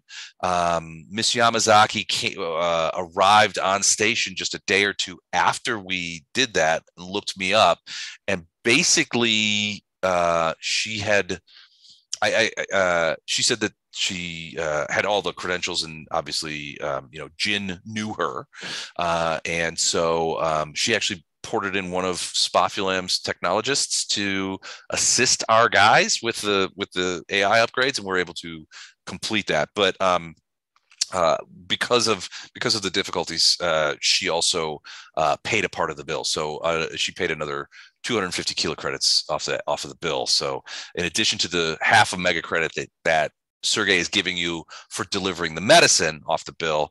Um, representative, Miss Yamazaki, came out here, um, helped with some of the issues associated with Djinn being upgraded for the weapons, brought in her own technologists, and um, also contributed another 250K. So there's that. Um, yeah, apparently she learned that you guys were here. Um, it was she had come here. I, she she let she let Sergey know that um, somebody, you know, some drone named Emix had found out that you guys that you guys were here and had filed an uh, a- system lien on the on the ship. Mhm. Uh, and Miss Yamazaki apparently was CC'd on that and responded to it by coming here and taking care of whatever legal issues needed to be taken care of. So my understanding is that's gone away now, that problem. But apparently this uh, Emix drone was interested in. Um, well, there was some there was some talk that he was going to uh, sequester the ship until debts were paid and something like that. I don't know how that was none of my business, so I don't know how that went. But uh, your your Miss Yamazaki took care of it in whatever legal fashion her corporation did. I mean, that's all great, but I thought we were like in a in a shady area getting like illegal arms attached, and we got to deal with lawyers and stuff over here. Well, that brings me to my second point. There is a representative of the Terran Legal Authority here, a man named, a human named Keeve Smitchy, who has, who came to, uh, who who we found um, making uh, queries about the location of the personnel uh, and crew of the Gin and Tonic. Um, so I went to see him uh, to find out what there was a problem since we were doing the work. Uh, he basically uh, said th- that uh, he needed to talk to you when you returned on station. Now, I understand that not everyone wants or needs to talk to the Terran Legal Authority. Well, so if, if this is a talk to Smitchy. if uh, if this is problem, we can resolve. Well, before we put him in a potato sack, let me. Uh, I'd like to talk to him. Cap- No, no, no, no, no, no, nothing like that. Meaning, if uh, if you need to leave the system covertly, No, no, Sergey, I totally get it. Wink. Yeah, nothing bad will happen to the guy. No, no, it won't be pinned on you at all. I, I promise. But he Um, did he did leave word with me when we talked to him that he would uh, uh, like to have a word with you, if at all possible, upon your return. I'm fine with talking to him, Captain. Are you okay to talk to him, or do you want to keep uh, arm's length, or what do you want to do? We can bring everybody, but I'm afraid the doctor's going to whip out one of his tiger penises, and that's going to start a whole thing. I could use a bear penis instead. Um, secondly, I have a feeling the Terran anybody- Legal Authority will have something to say about that. Before I go anywhere, I got to go to the the high end uh, fashion area, spend a few credits to get replace my my beautiful Lando Calrissian trade cloak. that, Funny, I've been that trying to talk bravely to you gave guys. its uh, bravely was wrapped around uh, K- K- Doyle's groin for some period of time. you throwing that one away? Yeah. Just just keep it. I burned it. it. what were you saying, Dan? So I was trying to talk to you guys, and, and then I realized I was on mute. You weren't just ignoring me. Um, so two things. One, yes, travelers, the UK spelling less. Is it? Oh, Okay, thank you. Um, we, from what we know of the last conversation we had with the Terran authorities, they were basically kind of take turning a blind eye for the time being because they're not really big fans of the URSA anyway. Um, so yeah, I think it's worth giving them a chat if you're willing to take that on. Right. You talked to some people at, at Calgary, if I recall correctly. You, when you left Greenprint, you you hightailed it for Calgary. You may have talked to them at Calgary. You may have talked to them at Junction. Um, but basically, yeah, you're you're the word you got from the people you talked to is like, look, you're a long way away from Terra. Um, this is a long way away from something that people at Terra have have a lot of time to deal with, um, and so yeah, the the, the uh, you know f- causing a, a, causing a fret uh, with one of our um, you know with the the least important uh, race of sophonts in the in known space right now um, is not high pri- a high priority issue. So it's Yeah, kind of pretty it's it's actually kind of weird that they've there is a representative here at Cymbeline who I- I'm gonna wants to talk to you. Yeah, I'm gonna say that it's got to be good for us, Captain Doyle, not bad, because we're we're on we're all on uh, Team Human still, or at least most of us are, um, and uh, and so that this is yeah, I'm sure if he, there's anything he has to share, maybe we can get some info about our Ursa Ursa problem or something else. Yep. Good Well, this- plan. So what Sergey could also tell you is this guy Smitchy is is a a relatively minor functionary in the Terran Legal Authority, the TLA, um, but he's been in Cymbeline's system for a while. Um, Sergey suspects that Smitchy's real job here is to sort of keep an help keep an eye on Terran interests and make sure that the Cymbeline uh, Kaguk conflict doesn't get too sticky or or or expand further than it already has. Ooh, basic, basically, he's part of the TLA detachment, and there's probably several other group detachments that are here in Cymbeline. They probably have their counterparts in Kaguk who are trying to make sure that whatever goes on between Cymbeline and Kaguk that it doesn't it doesn't reach Ember. All right, so let's go. Uh, are we taking everybody? We can take the whole posse, or you, you me, Captain, or what do you want to do? Well, he's like, before you go, I have additional things to tell you. Oh, please. All right, hold on. Let's talk about Melvin, shall we? Oh yes. Sorry. We So you said no questions you asked. said you said you were going to weld him to the prow. Yeah, you said you were going to weld him to the prow.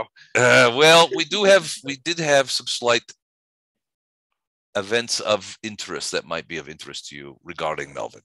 Uh, for one, let me just tell you, Melvin is safe and sound. We have him in a in a secure warehouse guarded by drones, um, and uh, uh, you know we've we've made sure that it is under observation at, all times. We did that because a couple of things happened. Um, uh, while you were gone. So first, uh, we we had a an attempted break-in at the warehouse where we had Melvin stored.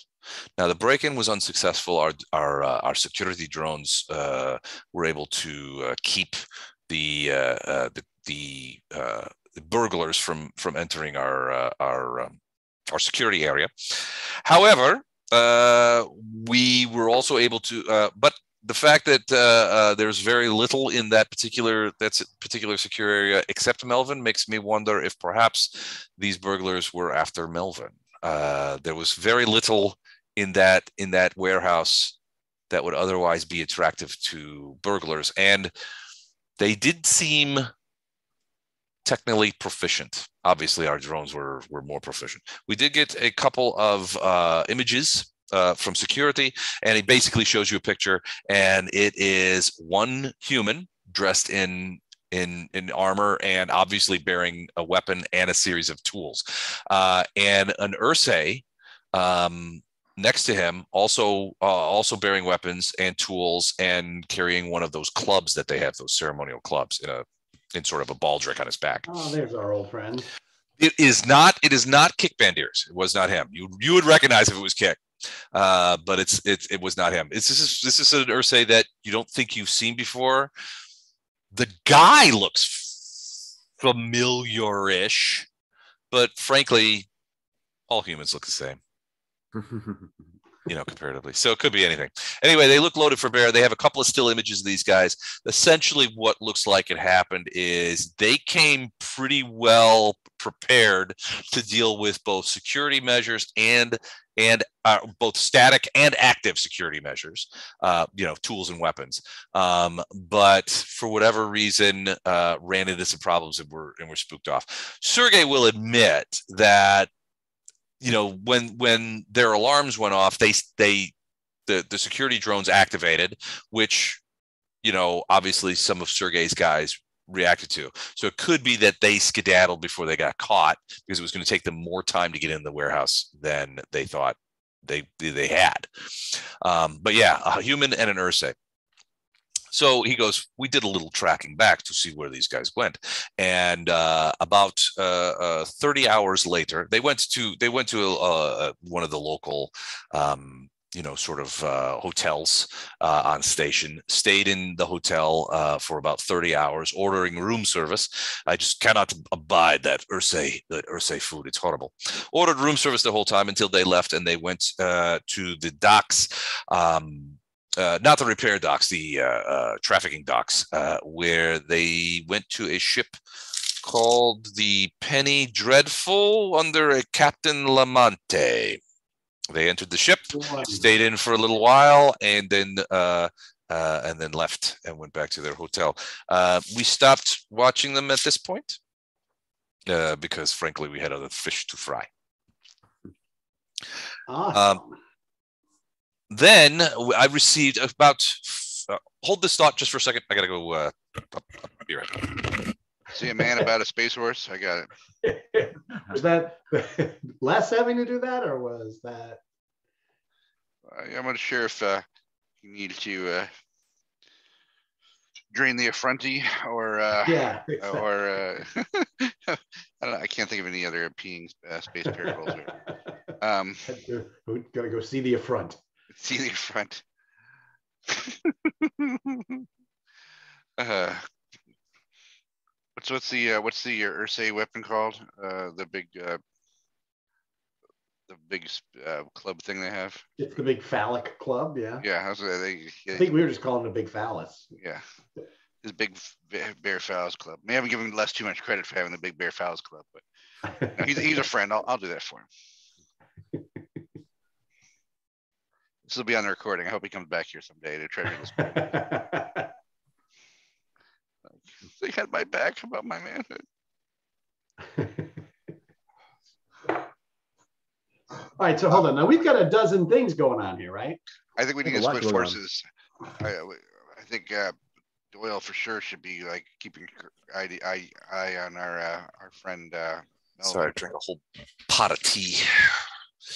We're kind of come up with a uh, uh, a space um, euphemism. Euphemism there. you, you, using your uh, Ursae Space Club, draining the space, or you know. Still working on it. Yeah, seeing that. Seeing, yeah, seeing the front. I have to go see the front real quick. I had to purge the coolant towers. There you go. There we go. there you go. Yeah, there we go. Um, so then Sergey says, "Look, you know, uh, this is a while back, uh, but about uh, about forty hours later, we got a message um, that somebody was that somebody somebody reached out to us by digital means uh, and asked if uh, they described the thing in the tank with a fair amount of precision." And asked if we would be willing to sell it and they offered us a mega credit for it. Hmm. Wow. Um, because well, he's like, look, you're customers of mine, and I'm I trust that uh, you know one of the things that uh, when it comes to mounting illegal weapons onto ships, your word is your bond. Uh, so um, you know, he's like, look, you know, I a mega credit is tempting, but I, I uh, um, if I if I sold my customers property out from under them on a regular basis, I would very soon have no customers now, wouldn't I? Um, uh-huh. We rejected the offer, uh, and um, and actually tried to. They will describe it as like basically we tried to use because it was a digital. It came out. It was entirely digital. Uh, it was, you know, um, the, the all the offer, all the stuff came via digital, and it was uh, all text text based, no no AV. He's like, we tried to um, figure out where the message came from, and we had some of our some of our guys do. Uh, we actually had some of our guys who are talented in this regard, and an AI, with AI support, try to track the message back. We did track it back to a secure terminal in one of the many secure terminal uh, centers throughout the station. And we were able to reverse uh, and they have they have cameras mounted on them like atms and we were able to get a picture and the person who sent the messages was an ursae. Not the same ursae that tried to break into the thing but a different one Does now he have we a picture of the guys just so we can try to identify if it's no he doesn't he doesn't have a picture because like it's difficult to find pictures of space bears but um you know, any bear will do this. Like, yeah, you know, googling space bear gets you a whole different kind of picture a lot of times. Like uh, you so you have to be very, you have to be very careful. if you put Paddington Bear in his blue coat up there and just said this was Kick Van Deer, be like, what about okay. Winnie the Pooh? Yeah, Winnie, yeah, Winnie the Pooh, yeah, for sure. We just need to Photoshop that big club into his hand. um, but it was a, a another Ursae. Now there are there are a fair amount of Ursaes, you know, on station. They come here, you know, that kind of stuff. Um, but uh, but that was odd. He thought it was interesting, is the word he uses, that we had two attempts attempts uh, to acquire Melvin by two different Ursae within the course of 72 hours. Um, we moved Melvin to a different location, a, a more secure location, uh, increased uh, the security there, and have had no instances uh, of uh, anything further. This was probably four or five days ago when this when this all happened. Interesting. Well, I'm sorry that caused you uh, that that extra stress. Well, I'm glad you. I'm glad we got a chance to talk about this because my guess is no. Uh, you know, as you know, I'm a businessman. So I thought I would ask you: Would you be willing to part with Melvin? No. Uh, yeah, we're not in the business. Like we got in this whole thing because we, we got in the business out of the business of selling selling living creatures to other people. This is how we got this mess in the first place. So uh, we're not we're not selling anything. But I think the, the sure like to find a way to talk to Melvin or find out what he is. I have kept uh, I have kept my uh, um, my people away from him, and typically what I've done is I've used uh, um, uh, androids uh, and robots to uh, and drones to move to move Melvin and his tank uh, from here to there, and uh, I have generally kept to that when it comes to his security measures. Generally speaking, he doesn't have people near him; he has machines near him that that basically keep an eye on him. Okay. Uh, for whatever reason, Melvin can be unnerving to Sophonts for reasons. I, I myself, uh, uh, you know, was told about this and went and took took my own look, and uh, I have to say, it is an odd and disturbing looking creature. Yes. Yeah, wish we could. And interesting that so many people want to try to buy it. It's a bit of a mystery. It's also uh, it's also interesting that so many people like we were out there by ourselves. We talked to nobody until we got to here, and that there's multiple interested parties uh, potentially that found us. That found us. Now, granted, it sounds like your original party somehow figured out that we were there. Maybe they could have pulled footage from the dead ship or something. I don't know, but somehow they they they could say they found us. But if there's multiple parties, that's more concerning. Uh, I would say this is this is at least what I'm thinking. We need to meet with this Terran representative, and we need to lay a trap for the clear uh, attempt on on taking Melvin from us by any means necessary. Something that you know Doyle can have his big gun out for. Well, certainly. So Sergey will explain himself when you know he's like, "Look, I'll I'll give you." He, he basically says, "Look, I'll give you a mega credit, or in, in cash, or, or, not cash, but you know what he means, or I'll knock a mega credit off the cost of the repairs." And he goes, "Look, my my uh, my reasons are simple.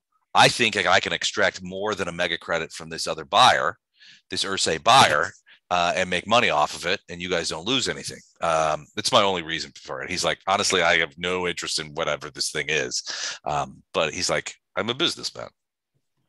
Yeah, I mean, it's not uh, like, Legitimate. for me guys. It's not about the money. It's about we got we got It's the into our first principle. adventure. Yeah, so we got into our first adventure by taking on slavers, and even though we don't know what this creature is, it's basically the same principle. Well, there's something. I mean, it's a it's a it's a dude in a tank. It's a mega credit. The voice of the voice of reason, Doctor Weg. Money Right, so that- talks, space bullshit walks. So he'll tell you, he says, look, look, uh, you know, we still have three or four days, four, uh, five at the most, before the uh, before the repairs are going to be complete. Uh, at that point, if you want to take it out for target practice, or you want to, or you want to skip Cymbeline altogether and head out to some other place, can do that too. Um, you know, the jump drives are perfectly, you know, we haven't. He's like, we haven't done anything to your jump drives. Know, you guys have pretty sophisticated jump drives as it is. Um, we've focused entirely on the weapons and, and augmenting your AI to be able to control those weapons. Okay. Interesting. Okay. Thank you. Check. Thank Okay, you. so yeah, so what do you want to do from here? What, what time is it? It's uh, we got basically an hour. An hour 15, hour and 10. Yeah, I would say that we need to, uh, like I said, that's my thought is that we need to tr- lay a trap for would be burglars uh, or whoever comes again, um, and uh, we got to talk to this uh, this alliance dude. We can either do it together or separately, but it might be better to divide up um, just in case, at least for the short term. What is Okay. it we're gonna do with Melvin? And uh, you need to buy an arm. Yep. Oh yeah, I forgot about I've the attached a uh, bear penis. It's all like, hey, what is this? This is six six. Got to get aroused to be able to hold his weapon. oh my god. I didn't want to be embarrassed. Yeah. Somebody get me a Tony the Tiger poster. Um, It's right. great. there we go. The uh, I forgot about your arm. So maybe we, uh, you know, how do you want to do this? Uh, like, it does- shouldn't take us that long to go meet with this uh, person. So maybe we should go meet with this person, and maybe Doc and uh, and and Eric and Doyle can get his arm reattached Okay. or new arm. Are you gonna buy a new arm? Um, my plan was to shop around, um, see what arms are of of the the available. Um, I um don't need anything fancy. Uh, just a, a couple of um inbuilt lasers and um uh you know no uh, th- th- something that just works. Uh, um, if if it's possible to to get an um android arm that or a cybernetic arm that works roughly like a human arm, then I'm happy. So um, Sergey will be like, well, there are several fine cybernetic uh, um, places here uh, that you can get an arm. In fact, depending on how much money you have, Mhm. You know, we could we could look at the cybernetics chart that he happens to have uh, there in his office. Well, you know, um, my um previous uh, arm um broke back there on that planet, so I, I could um use an um update. Uh, um, I, I would love to see um any options you have if we have some time. Oh, shouldn't he get workers' comp for for his new arm? Well, do you guys want to use some of the ship's money for him? It's coming out of the shared funds. I, I would say yes because sooner or later, one somebody else is gonna get a blimb blown off or something. And I want to, I want to know I have that option. So I guess so. I have fund? I have you. Are you can you guys see this uh, spreadsheet? Uh, yeah, No. yeah, I can sort of see it. Hold on. Uh, sure there's a, a you know cash machine we can knock over on the station here if we need to. I mean, did I say that out loud on the recording? that's wrong. Okay. Can you guys see spreadsheet now? Yes. Okay. Wow. All right. Huh. So uh, there are a variety of augmentations and things that you can do. So generally speaking, what you you're doing is cyber arm, right? Mhm. So that's the standard arm replacement, and that's three kilo credits, three thousand. Um, then there are other elements that you can that you can so you can put armor on it. Uh, you can uh, um, do the shoulder mount. You're probably going to have to have the shoulder mount anyway, since the, the, of the location of the of the severage uh, was that you're going to need the bones there are probably pretty damaged despite Dr. Wagner's best efforts. I mean, he's only human.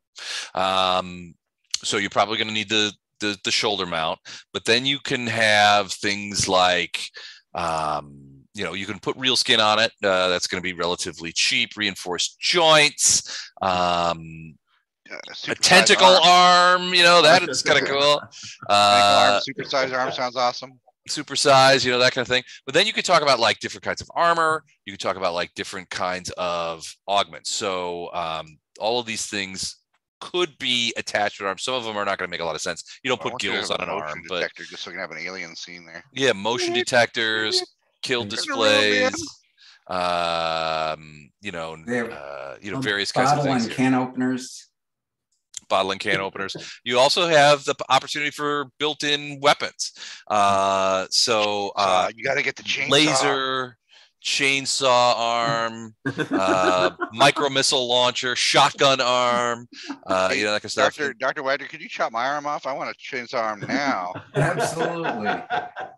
You could have it. You could have it loaded with speedware, so it gives you initiative roll. Good. Smart. You do need for for a smart weapon. You definitely need to have the smart gun link added in there, um, uh, just to make sure so that that you can control it.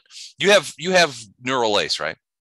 I do not. And um, actually, that's Ooh. something else that I, I, I want to talk about because um, stubbornly for nearly two years now, I have re- refused neural lace just because I, I um, Coffin has um, neuroses and bad PTSD, and um, he's a, Coffin has some significant mental issues, as you as you all possibly have noticed. Um, so um, he, he, I wasn't going to say anything. come around, and he would like to, if possible, get some um, neural lace too. Um, but do I have only a, a, w- 100? Is it, is it w- 100? Is it six, 69 credits? Now these are kilo credits, and this is basically your share of the of the after ta- uh, after after expense profits of the operation of the ship for the last five months or so. I think we're in or six months. We're in June right now. Was that, Uh, Do you have pri- any was that price list also in like killer that? credits? I'm sorry, Was that price list also in killer credits? I think there's two different. Uh, uh, they were not pricing in, in kilo credits. These were yeah. listed. So yeah, they're they're not. So here's the thing. So these are actually um, some of these are actually quite cheap.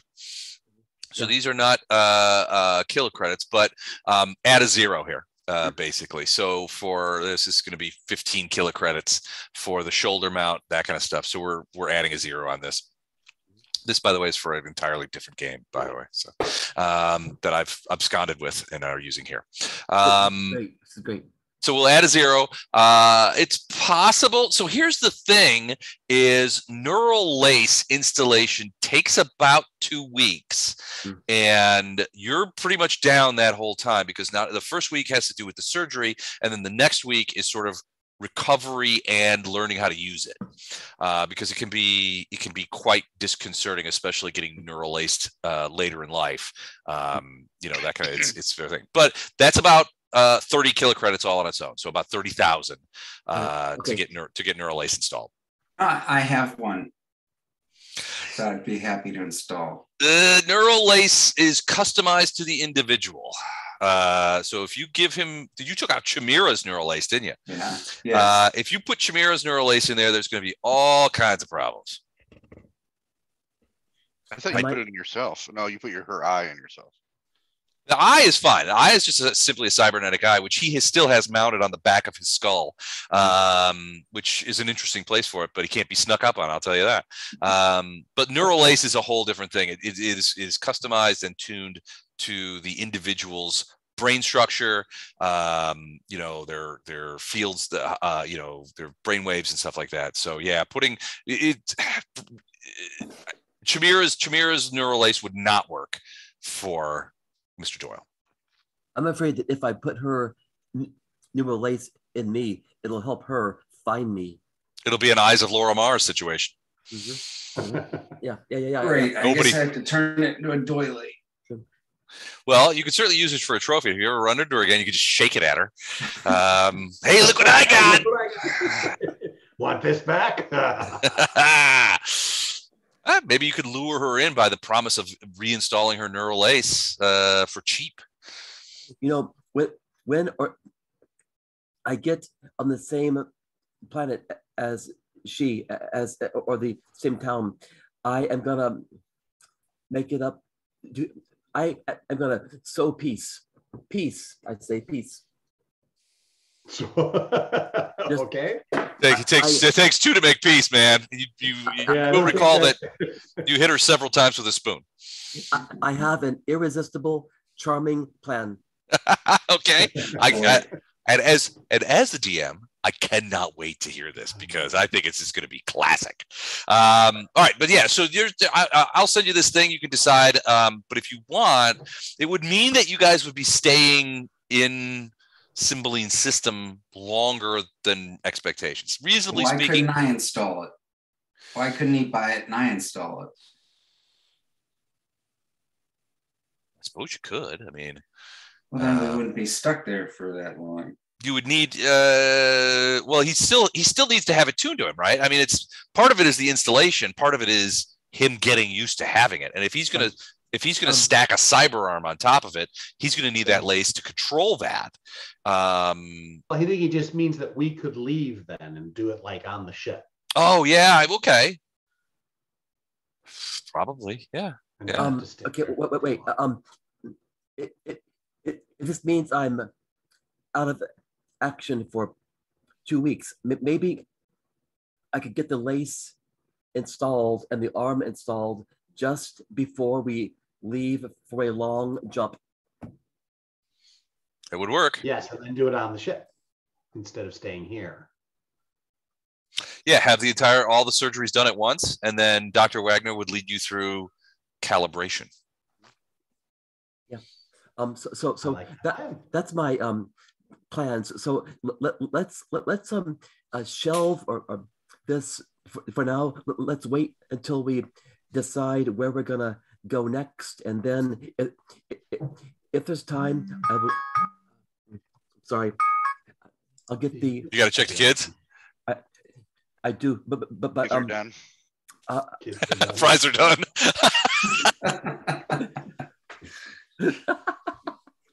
oh my god!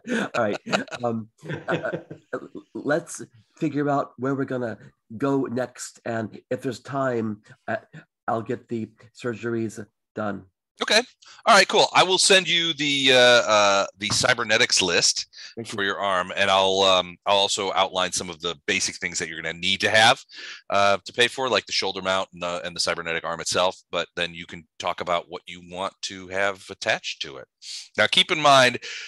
You can't like if you see like 17 things that you want, uh, you can't you can't Swiss Army knife this thing. Um, a gun and a tool is and and maybe a sensor is about as far as you can go. Copy. All right. I think uh, if if uh, uh, if we look at uh, Captain Black, Captain Black, you have a gun and a tool associated with yours, right? I got guns. Yes, I do. Somebody said the other night, "Welcome to the crossbow show." About I was just like, "Oh my god!" They're like, "Welcome to the crossbow show." Oh my god, you're out of the game. Um, Right back. All right, see ya. Uh, all right, so so there's that. You guys could probably make those arrangements. Sergey could probably make arrangements for that as well. Help you sort of get the, the best the best guys. Uh, and um, if you're willing to help him, you probably don't even have to help him with the with the costs if you don't want to. But uh, I, I think he's got enough money to handle it. Um, the, from his shares of the uh, of the you know the profits so far. But that's up to you. Did you want to? uh, Did you want to even mention to Sergey the two pallets of bourbon, or the 1.8 pallets of bourbon? Um, I think we, we want to see the uh, the final bill first before we start negotiating with our pals of bourbon, right? Don't we? It's up to you. I mean, you could always offload. I mean, it's a it's a cargo like anything else at this point. Yeah, so that's what You're right. say. if you want to keep Um, a pallet for yourself, I mean, it's still it's still a hundred grand uh, if you keep a whole pallet for yourself, um, you know, I mean, the bribe, the, the bribe factor on that. Imagine, imagine you had hundred bottles of Pappy Van Winkle, 2021 that you could lug around and just give to people that you wanted them to do what you wanted to do. That would be uh, uh, a, a, a significant incentive. You know, Weber Jix is all about that plan. He loves. I was uh, going to say, Weber, I'd, I'd kind of leave that call up to you. Is that something? I don't think I need a hundred have bottle, but let, let's let's let's ask Sergey. Like, let's tell him we have at least one case available and see. Uh, you know, what Just see if he thinks he can help us offload it and what profit we could get. Yep. Okay. But All he right, also uh, has to ti- take the tiger and bear penises to offload as well. You want to so uh, so Sergey takes you aside and says, "I've had several inquiries about tiger and bear penis. Um, my understanding is that you know how to get them, uh, and maybe even have a stock. Uh, so if you do, you know that would be perfect. So because there's Well, huge, do. huge demand in Cymbeline for tiger penis. Okay, I got some. Hey, look who's here! Hey guys. Well, hey, Man, Don. How the you? man of the hour. But Alright. so you are now the new captain of the gin and tonic. They've all been killed by Ursae. Uh, Yes! so- No, no, actually, we just got back to this thing and they said, "Do you want to sell one of your character, your crew members into slavery to pay for the ship repairs?" And we said, we sold Uh, you into slavery. well, I don't know that I would refer to Melvin as. Uh, oh well, yeah, they were talking about Tam. Tam, yeah, I mean Tam could- would be a good slave. "Steven Melvin, we're saving, we're selling Tam. we're selling Tam and keeping Melvin. All you have to do is change your face and come back. You're fine." Sell me several times. Yeah, exactly. It's like the good, the bad, and the ugly, Yep. Exactly, exactly. which is on Hulu right now. Uh, I'm, I'm, uh, I've, Oh, I've sort of, awesome. I've sort of, book, I've sort of bookmarked that to, to watch. What a weird movie that is. You think about when it was came out, and you're like, this is a non-traditional western. All right, let's go for the trivia. What's the name on the grave? Oh man. Oh, I got, I got right at the tip tongue. Wow. All right. I don't know. Unless you got some Mm. Arch Stanton. But it's Arch not Arch Oh, Stanton. yeah. The unmarked Stanton. grave next to Arch Stanton's. Right. Arch Stanton. Unbelievable. I can't believe you know that. I'm, I've, I'm seen that. I bet I've seen random Good, the. Bad, the Ugly 20 times. I can remember that. I can also name every line in Aliens, but I won't because apparently you're already married to an alien aficionado. aficionado. I, I just watched First Monday in October yesterday. Uh, I don't know what that is. about the What is that? Supreme Court? Yes. Okay. Okay. So uh, one of the Supreme Court justices, the one that's new that everybody hates, uh, is um, uh, a, a graduate of the school, the college that my youngest son is going to attend. We're talking about the. Uh, Now, when you say everyone Uh, hates her, you mean Republicans? Yeah. you're talking about. No, Peyton- no, no. She's hated by the Democrats in this side. She was she was one of the uh, the two, Patient the, the Zero two the that- sudden two week uh, two week uh, approval. Uh, You- You're ones. talking about patient zero who almost wiped out uh, our, our nation's leadership with one year the coronavirus uh, thing. Like, aren't, aren't you a doctor?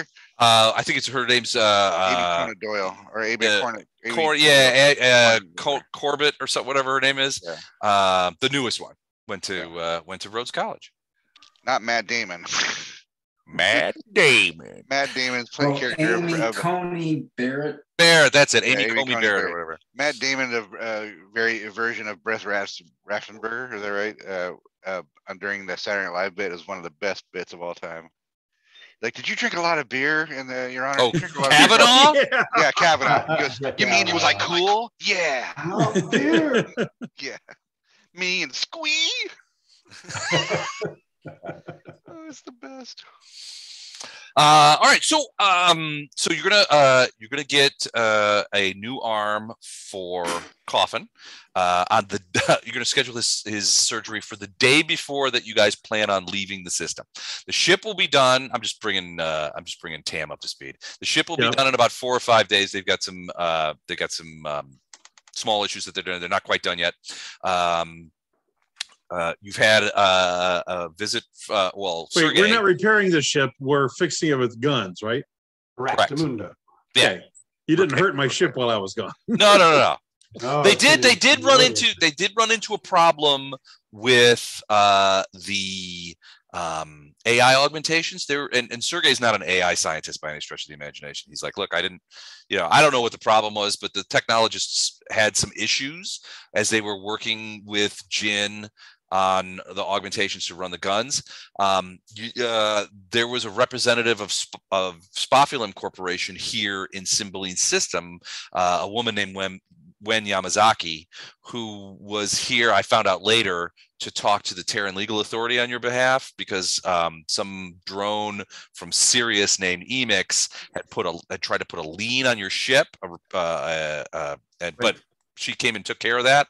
Okay. Um, and she also brought over a Spofulam technologist that was in system uh, who assisted um, in some of the AI upgrades.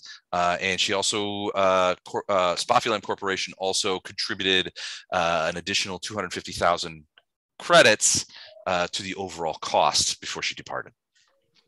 She also mentioned that you guys are supposed to call her uh, at some point and bring her up to speed on whatever you're doing for them. Sergey was like, I don't, I don't know what you're doing for her. But, uh, she was like, she she mentioned that you might might call home, phone home. She said. Phone home. Okay. Uh, and then so the the the, the TLA guy is uh, Keeve Smitchy. Uh, and he's uh, also requesting a small audience uh, with you.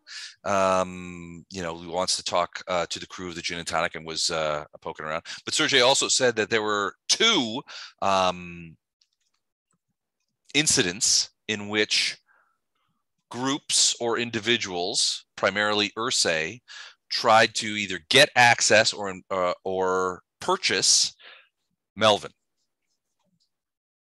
He uh, Sergey, in response, moved Melvin to a more secure warehouse, um, and uh, you know has been you know you know keeping it an, on an eye on it on the warehouse to make sure that nothing untoward happens. Mhm. Um, but there was one there was an attempted break-in by uh, and they got a picture of him uh, a human and an ursae uh, you he, show, he shows you the picture and it's nobody that you recognize from your previous interactions with ursae I, I suspect the general. you would. The general's behind all of this. Um, that bastard. Uh, but also there was an incident where sergey's organization received an inquiry about the potential for purchasing melvin. Up to they they're off their um their their um latest offer before Sergey basically said no I'm not going to do this uh was a mega credit 1 million credits that they offered for the return Let's not of say Melvin. no right away then. Well, Sergey basically said, "Look, if you want to sell Melvin, I'll buy him for a mega credit, and uh, and and I could probably resell it to this Ursae, and I could probably get them above a mega credit. I can make profit on this." But he's like, "Look, I don't." I don't sell my customers property that they've entrusted to me for, Right. for secure reasons. If I did that, I very soon would not have any customers. So he did not sell it to them, nor did he enter, even entertain the offer. Yeah, he did. Okay. He did. He did offer to buy it off of us so he could then resell it. And I, I at least my, I was of the opinion that that's how we got in these adventures in the first place, is by not uh, getting into the into the trafficking of being a living beings uh, thing. So I wasn't into the. On the other hand, and I just thought of this, and Sergey, uh, well, Sergey wouldn't bring this up, but you might, somebody nefarious on your team, Dr. Wagner perhaps, might say, you know, if we sold Melvin to Sergey, Melvin, or Sergey's going to turn around and sell Melvin to the Ursae, right, for a profit. The Ursae are going to take Melvin somewhere else. Yeah, that's a fair thought. You've you've thought of that. already lowjacked Melvin, and if the lowjack was put on there uh, surreptitiously enough, if it, did, if it wasn't like a big red thing pinging away like a like a crazy person, you might essentially slip a low jack onto whatever ship they off they onboard Melvin onto, and you could follow that ship to where they take him. then steal him back. Well, or murder or that. destroy the ship. I mean, you're gonna have guns now. Oh, we have guns now. We're not going to have that kind of guns. This isn't a Death Star. I forgot that. Well, it's not a fully operational one. not fully operational. Right. There's not that kind of guns. I mean, you guys are. uh, I mean, you guys will be able to hold your own in a in a small in a in a small brief space fight. Yes, that's all we could afford.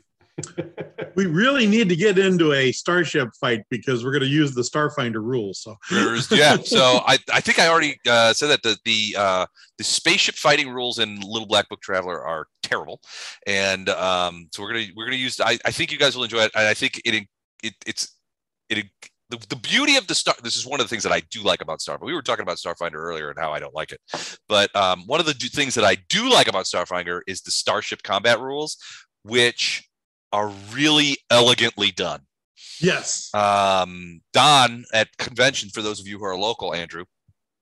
Um, Andrew. when when Don uh, Don runs a starship on Sunday morning at uh, ArchCon, uh, yeah, ArchCon At Archon. um, runs a uh, starship battle s- session where we spend two hours making ships and then we spend two hours fighting them, and it's always a blast. Starfleet battles. Uh, not Starfleet, not the no. It's this is Just ship Starfinder ship, ship not to really ship Starfleet. combat. Oh, okay, just- yeah, yeah. Yeah, it's But just in, There's no way you're playing Starfleet battles in two hours. I'm sorry. no, no, no, No. no, no. Yeah. no way you're playing Starfleet battles in, No. in two weeks. But but one of the I wonderful things about Starfleet battles. From one of the wonderful things about Starfinder ship combat is that they've got five different roles. Yeah.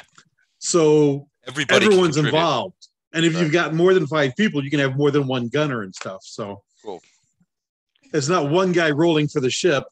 It's each person doing one of three or four things that, that the science officer or the captain or the pilot or the Mhm. gunner or the engineer do. Um, Got it. so Yeah, Yeah, it's actually cool. quite good. So we'll use that in, in the event that you guys can do a uh, into a starship combat. um, we'll use those rules. Hint, hint. All right. So I mean, uh, uh, I don't know, uh, Don, you missed missed a lot of the discussion, and that's pretty much what this. en- I'll kind of uh, watch the video this time. Yeah, this this entire evening has been, There's been more or be less an discussion. entire uh, discussion of, of euphemisms when when uh, space euphemisms when Les uses the bathroom. I have to go to the bathroom today. I uh, my my entry was uh, purge the coolant tanks.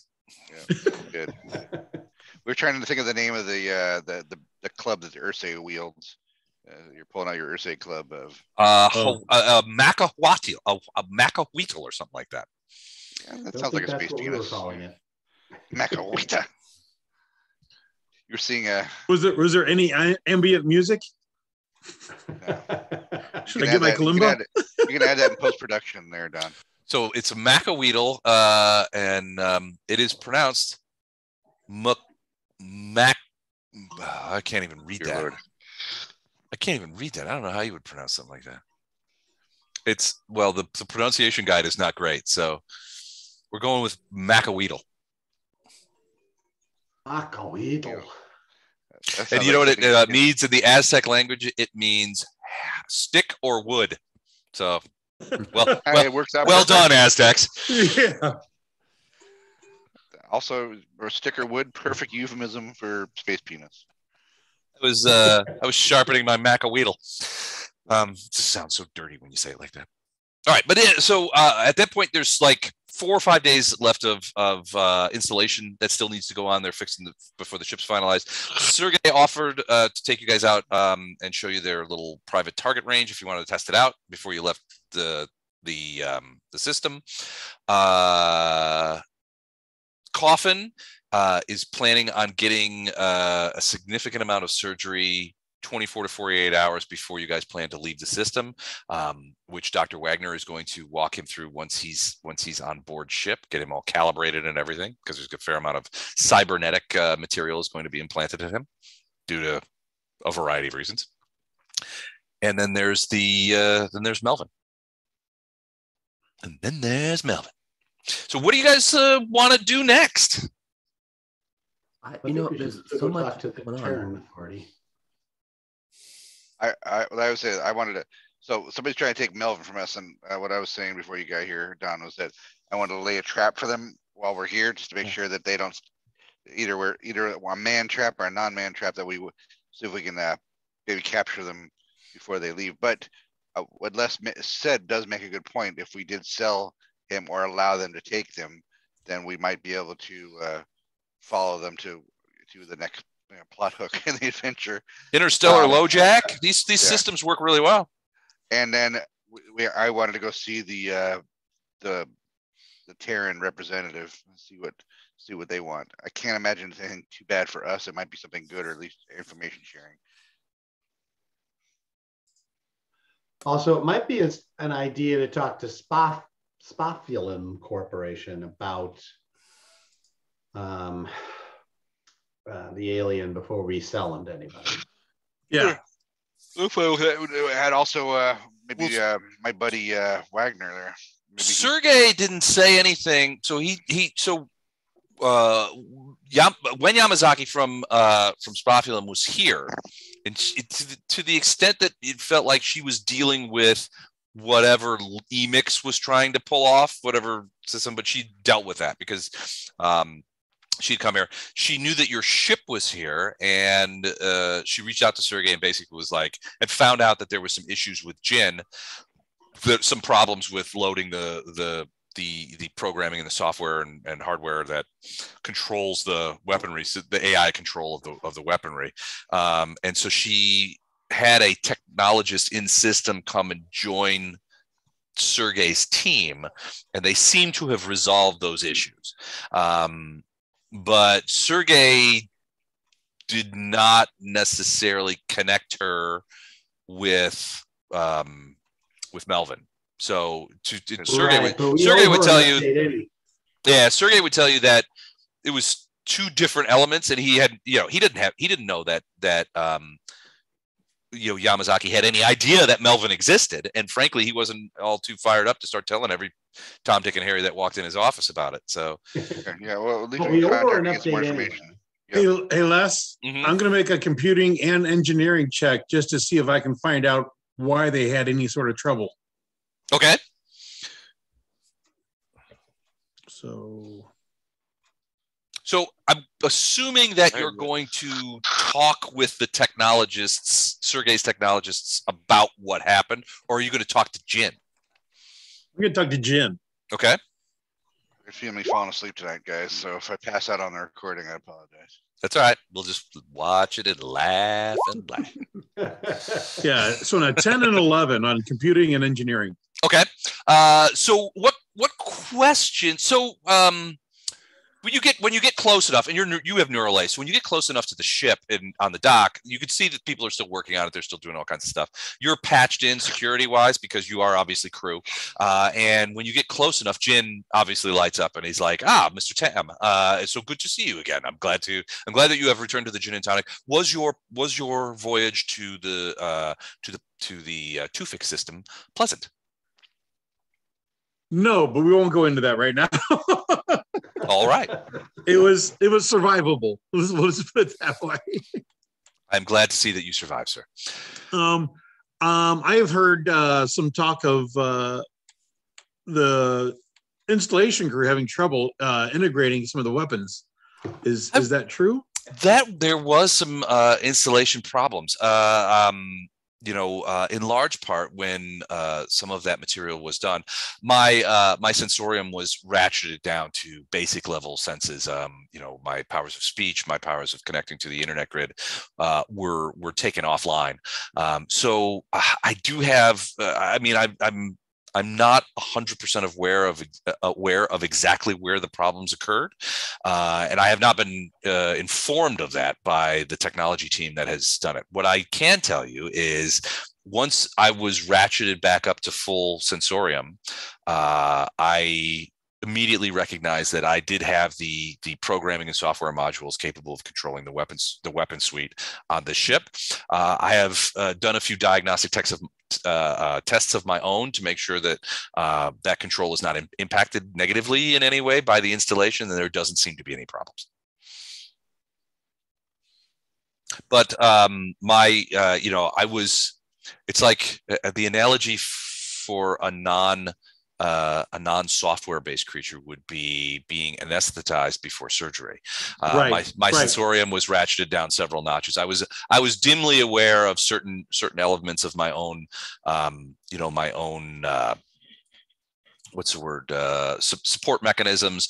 I, I had uh, diagnostic control to make sure that all of the um, all of the support feeds, um, you know, uh, uh, were were intact, and I could monitor those and control those very well, so that none of my none of my um, non so none none of my uh, more none of my biological elements were ever in any danger. I was in complete control of the the feed elements that can that that support those biological elements because, as you know, AIs are primarily software software and hardware, but they do have a biological element associated. A little bit, right? Right. Yeah. So, Um, and, and he was saying, look, I was in control of those, but as to what they were doing during the installation, I I wasn't cranked up that high. Djinn, do Bless me a favor. Now that you're that you're back, are you fully functional now?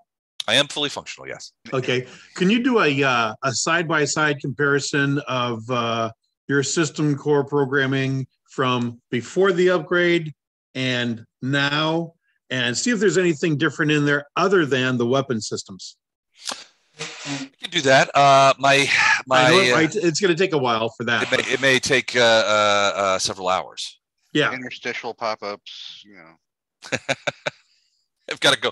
I've got to go through Malwarebytes uh, and run a scan. You know that kind of. Thing. But yeah, no, I would absolutely be able to to uh, do that. Um, like I said, it would take several hours, but I can commence on that Right. immediately. My um, the, uh, my control my control systems are satisfactory to uh, lend what aid is necessary for the uh, for the uh, installation crews. I can certainly do it in a side by side mechanism. Hmm.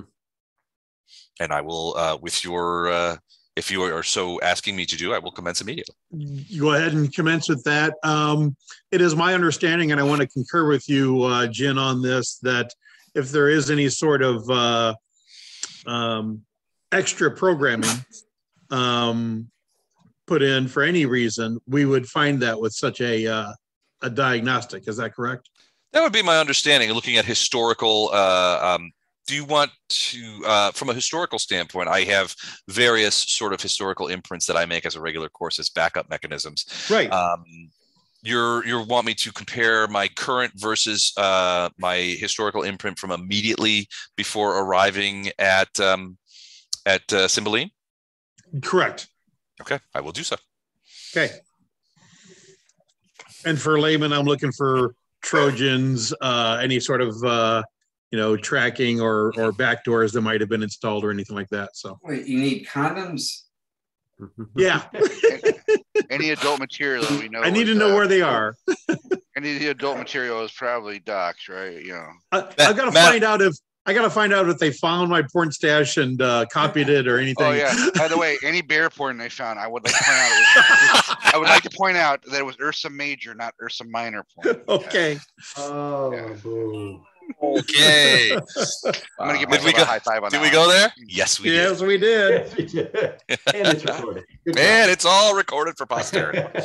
Keeping it all legal here, sir. So, uh, Matt, you'll enjoy this, but I, I'm sure I did. I ever tell you about the time we went to New York for the uh, when we got the Trojan vibrator account for search? so Trojan makes No. vibrators, by the way. Yeah. yeah. Uh, and so we went to New York, and uh, there was probably 50, four, 40 people in the in the room where we were, you know, with the clients and the, you know, all of the senior guys from uh, from Mindshare and all that kind of stuff. And we had it, and uh, or Maxus, I was at at the time, and so we're all sitting there, and the Trojan people brought samples uh, of their products, and um, our CFO, who like many CFOs, is a sort of buttoned up kind of guy.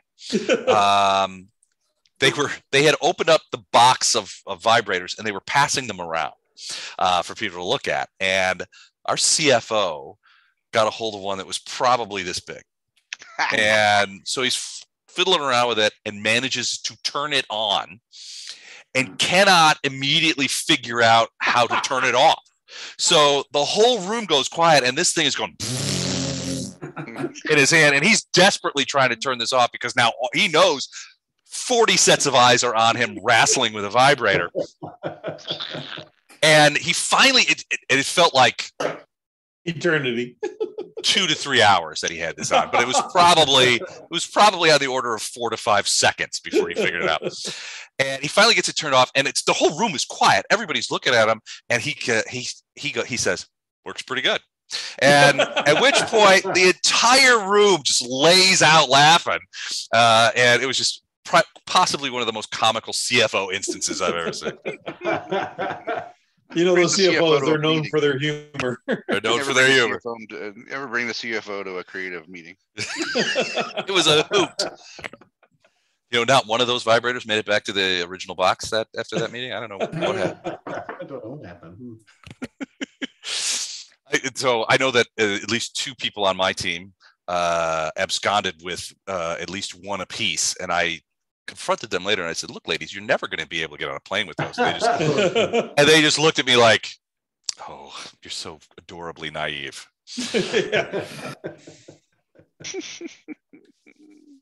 All right, so um, Djinn is running uh, is is running imprint uh, imprint analysis. Should be Yep. done in a couple hours. Um, what else do you guys want to do, or if or is there anything? Tam, did you said did you want to talk to the technicians or? yeah.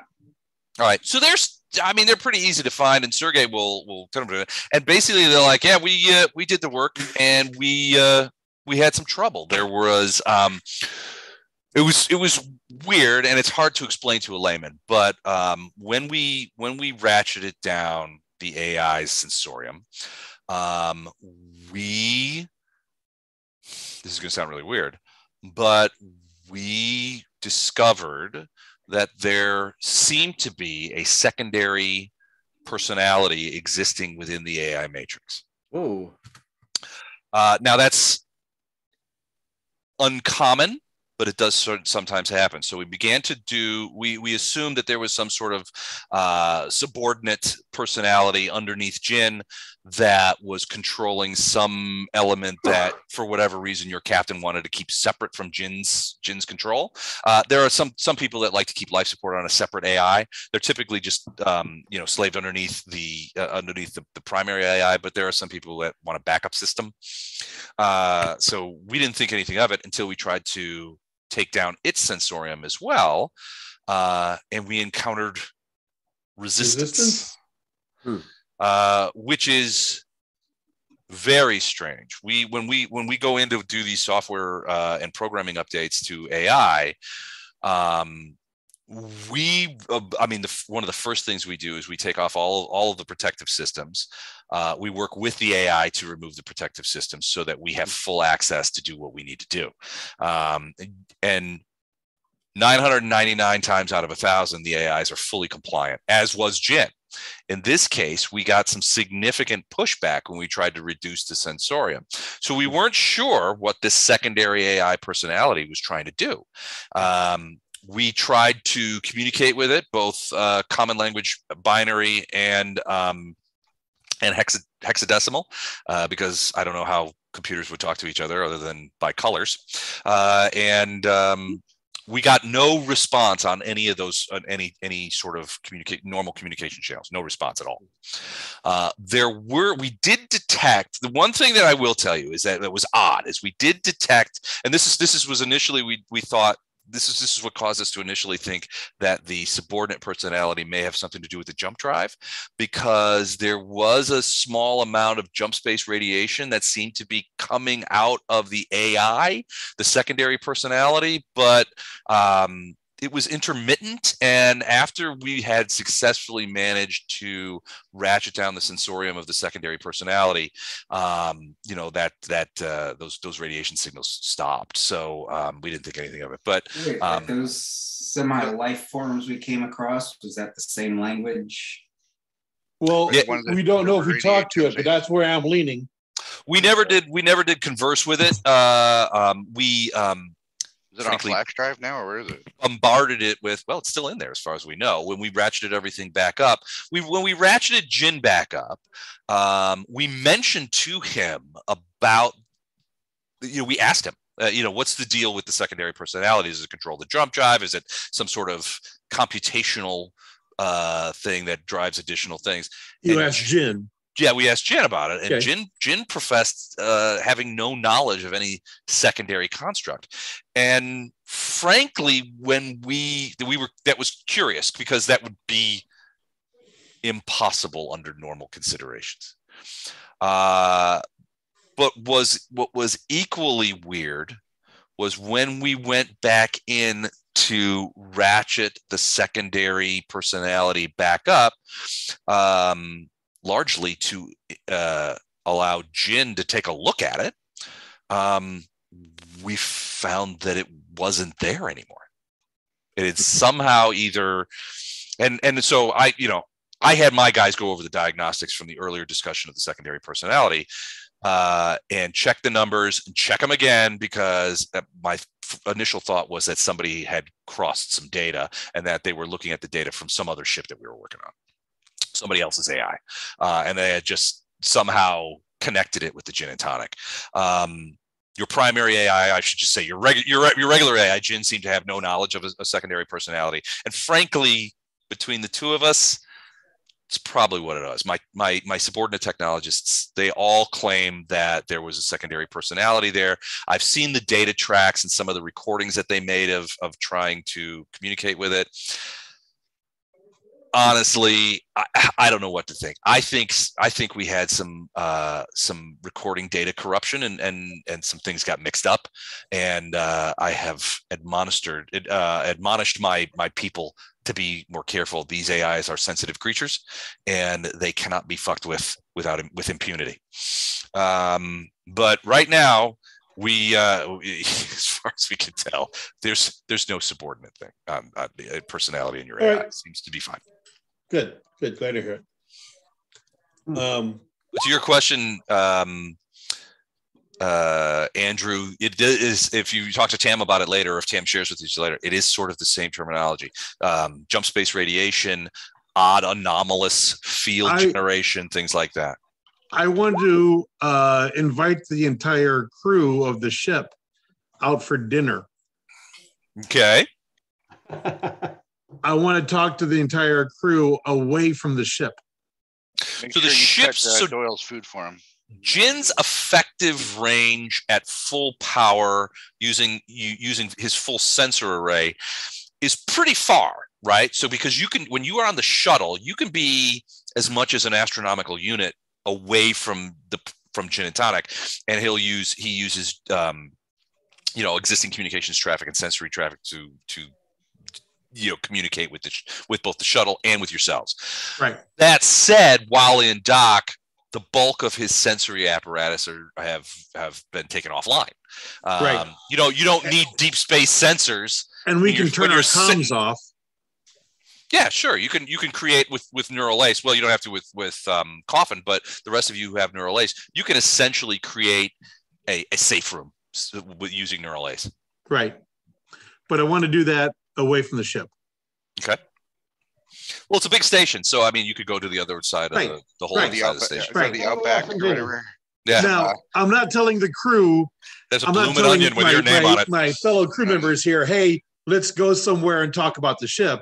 I'm Get saying, some, hey, uh, let's go out and celebrate, you know, a job well done and and the fact that we're getting the weapons that we've always wanted on the ship and just, you know, have a night out.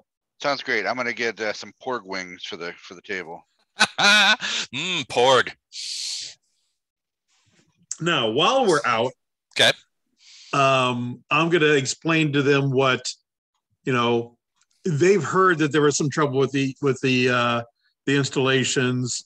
Um, Yeah, Sergey I- brought it up, but Sergey's not a technologist by any stretch. right, uh, but so so I'm going to talk, to, you know, talk to the crew, saying, you know, I talked to the the engineers that were installing it and everything. Um, and with uh, Djinn, I've got Djinn running some diagnostics and everything. When they said a secondary uh, personality, I've never known a secondary personality on on our ship. Okay, um, and just the signature they were talking about, I do think it might have something to do with those alien life forms we have run into with the the phasing in and out of the jump drives and stuff. I wonder if we might have a stowaway of some sort um, hiding aboard. Um, not sure what we can do about it yet. Um, I plan on doing a little bit of shopping and getting some uh, uh, high-end diagnostic tools. Um, um, basically, less the kind of stuff that Scott would would uh, hmm would use for hacking. Gotcha. Okay. Um, yeah, so I want to I want to get a couple of uh, uh, different uh, software packages um, for that for for uh, for me to do some uh, further digging. Um, I think personally, guys, I think Djinn is fine. Okay, um, and hasn't been infected. Uh, but I'm not certain that we don't have a stowaway on board. Um, whether it's Well, consciously aware of us, consciously, uh, you know, nefarious, you know, fr- friend or foe, I have no idea at this point. well, it resisted effort. So, so there's some Well- interesting things to unpack there, right? So this was this thing was the second the secondary subpersonality was discovered uh, while they were working on the AI, right? So Right. when you talk about a stowaway, that stowaway may not be physical in the true Right, right, of the right, word. right, right. It it may be all in the computer systems. This, you know, yeah, Well, I could see the look on Coffin's face as security chief when you talk about a, a- some sort of sub sub stowaway in a shadow AI inside the subsystems. Because when you guys are out in space, Djinn controls pretty much everything about the ship. I mean, he takes orders from from Tam and Black.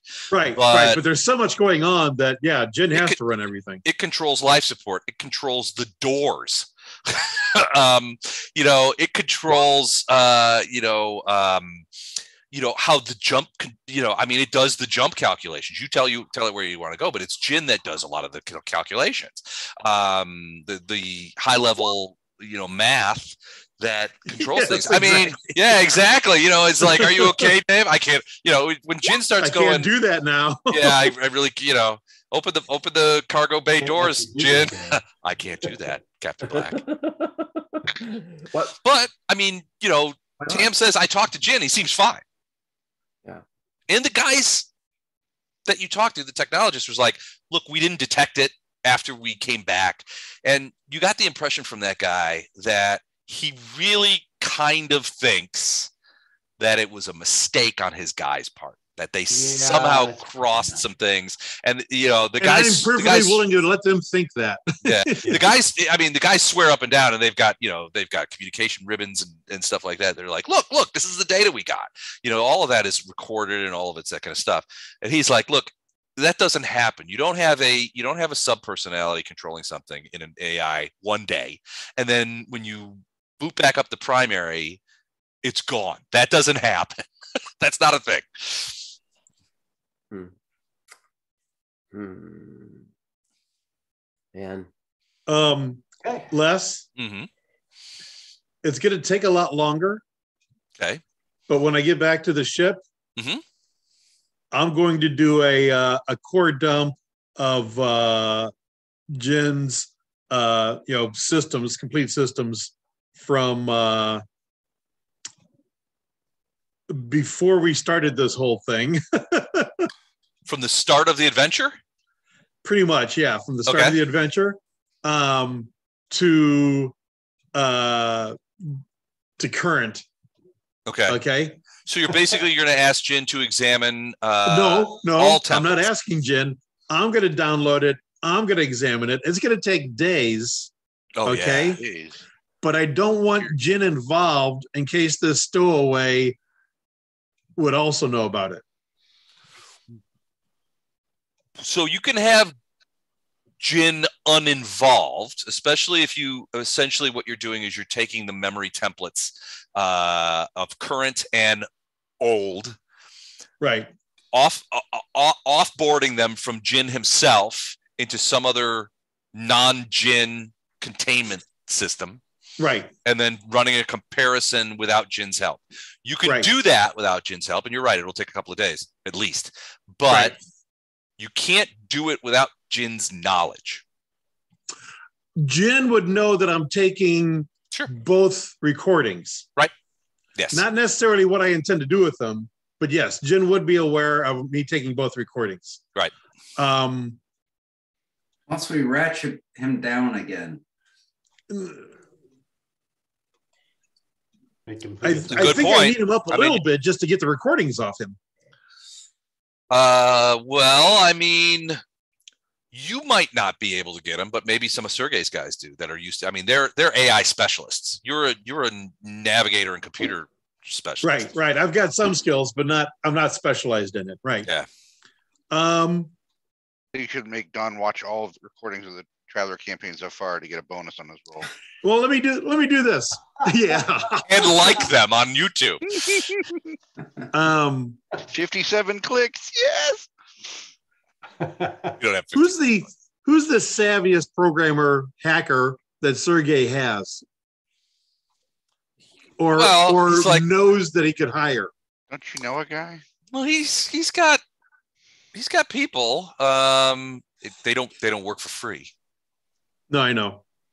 but yeah, I mean, yeah, I mean, if you uh, if you did so, there's a difference between you know r- normal technology hacker and AI hacker. An AI hacker. Right. Right. AI AI hackers are expensive, Yeah.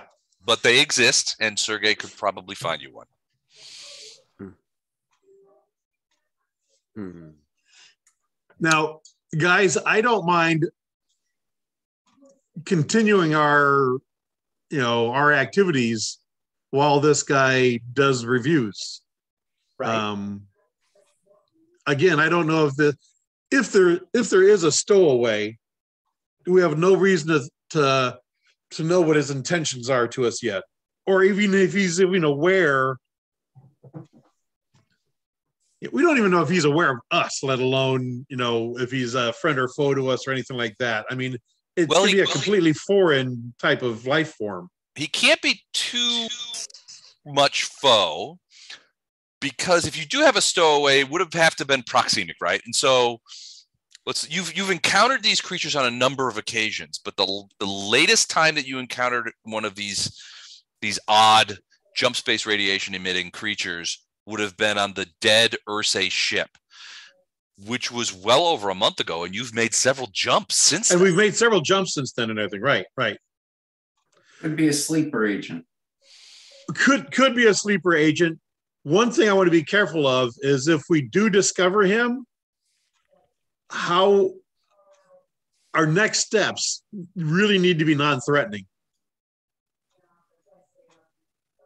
You know, Well, if they can ratchet him down, they can certainly isolate him and put him in a jar with um, our other Melvin.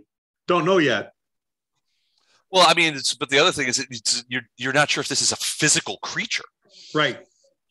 No, but AIs can be contained and isolated and transported, right? Sure, Put him on a flash drive. Put him on a There's flash some drive. physicality. Put him on a flash drive, delete him Absolutely. from Turn from him the to a gym and everything. CD. Yeah, but Sell them. uh, sell him on the street corner.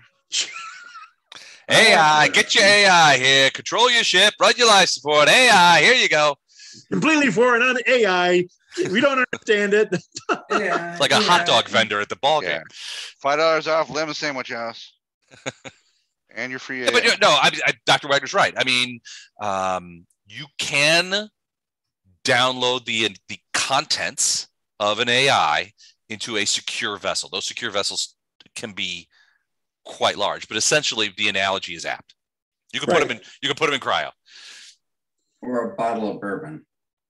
Uh, well, it's too big for that, but, But- um, you probably need something about the size of a car, a small car, Um, Like Melvin's tank. but first, we need to like Melvin's. find out if he exists. Okie doke. So I just wanted to let you guys know uh, my thought process. Uh, what, with your permission, Captain, that's what I'd like to do is uh, hire someone that would uh, investigate this better. Um, maybe even, you know, he may be even advise us how to how to make contact with it. Great. All right, let's get started. First, Coffin needs an arm, and now Djinn needs a psychiatrist. Welcome to space, gentlemen. Okay, so we can go back to the ship now. Okay. Okay.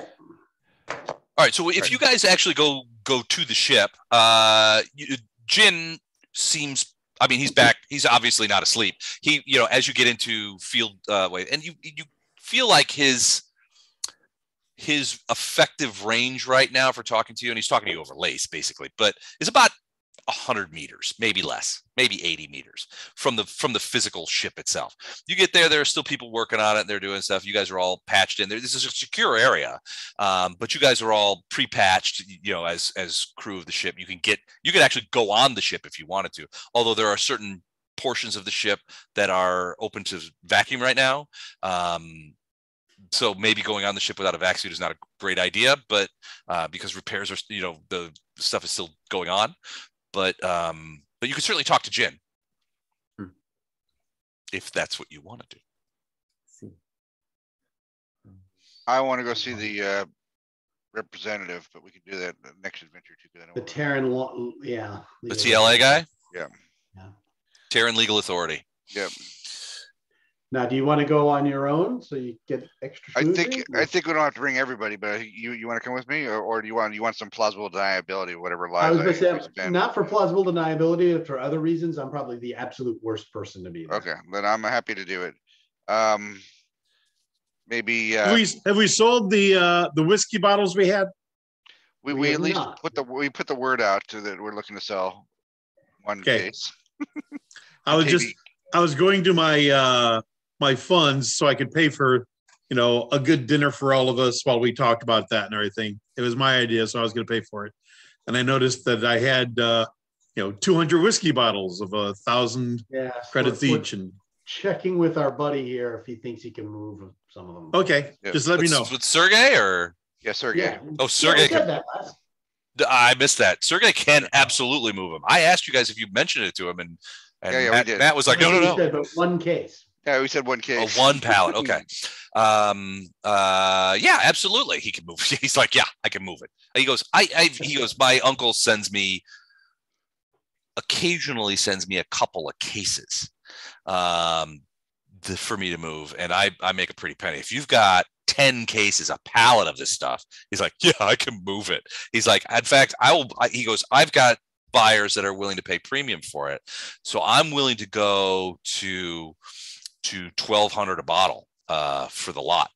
So 120 kilo credits for the pallet. So we're already making money on it. All right. Wow. All right. I think, uh, is it possible he wants to do even better if we trade it for, for work on the ship? Or is it a?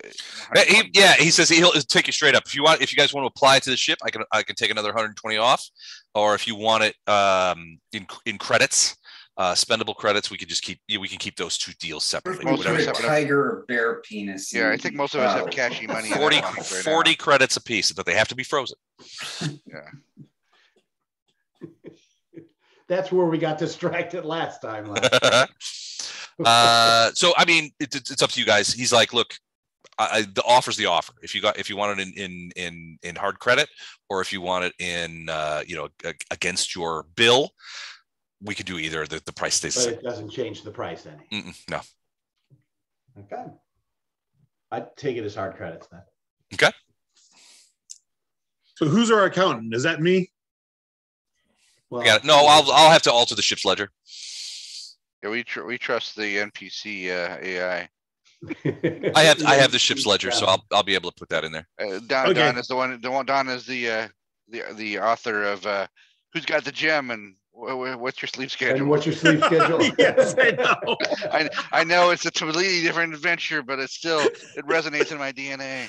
So uh, I got my final vote. So just so you guys know, I got the final votes on that tonight. I'm going out tonight with the with the finals. Uh, Nice. the two the two quotes that are going to be in the finals. Who's got the gem and what is your sleep schedule? That's a Don. And everyone is fast when they're falling off a roof, which I believe is a Chuck. Both of those are classics.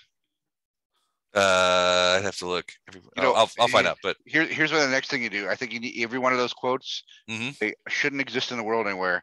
It's time to cafe press those up. Uh, so I know, start a whole, t- a whole t-shirt quote line that Everyone is fast through. with falling off of when they're falling off a roof. Yeah, Chuck, we'll just put a little late night game night logo or something on there. yeah, exactly. Come up with a good logo for it. I'd wear that shirt. Marlo would be like, "You paid five whole dollars for that?" Only the best at Cafe Press. All right, we've got a few minutes left. Uh, do you want to go down to TLA, Mister Mister Jinx? Yeah, if we have time, I'm I want to do it. Okay. Uh, like I said, I, I spent a little time replacing my uh my my duds to look a little fancy. get a little fancy. All right, get your cape Uh. back, that kind of stuff. All right, so yeah, you go down there. So TLA is obviously this this they have a a big sort of uh, um, set of corporate offices on Cymbeline Station. Um, they also have offices on the on the planet side, um, Right. although the the station office is bigger. There's a fit when you go in there, you kind of like bust in there, and you're like, uh, um, you know, there's a fair amount of activity. Uh, a lot of it is related. Your guess is is related to the war effort, the war between uh, sure. uh, Kaguk and and Cymbeline. Terra is keeping an eye on things and trying to control the spread. Again, it doesn't. They don't. they- They've they've already failed diplomatically to keep these people from from getting into a shooting war, but um, they're definitely succeeding in keeping it from getting anywhere else. The last thing they want is for space wars Yeah. to get outside of the. My mentality is, as I recall, almost all of us, if not all of us, are ex-military of the Terran forces. Largely, yeah. Yeah, So, um, we're we're uh, we're all patriots, but we're also cynical uh, burnouts and don't want to deal with bureaucracy unless we have to. But I also want Right. to get it out of the way. Right. I mean, you know, so so yes, a lot of you, most of you are veterans of the the Solomani military in various capacities. All of you are citizens of the Solomani cluster, uh, with rights and privileges and responsibilities thereon. Um, some of you may have local citizenship as well like you know um, by virtue of being if you guys ever become like full employees of the spofulam corporation you get Mirabilis uh, system citizenship, which has certain Right. certain benefits as well. So, um, you know, there are varieties of, of citizenship. But yeah, the Terran Legal Authority is generally speaking largely deals with uh, non-local problems, right? So local problems are often handled. You know, if you got if you if you fire off a gun in Greenport Station, you deal with Green Greenport Constabulary, right? You're you're Yeah. dealing with somebody named Bill.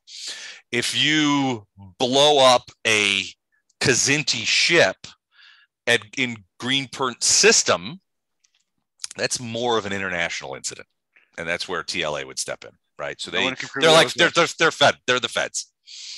No one can prove that was us, Les.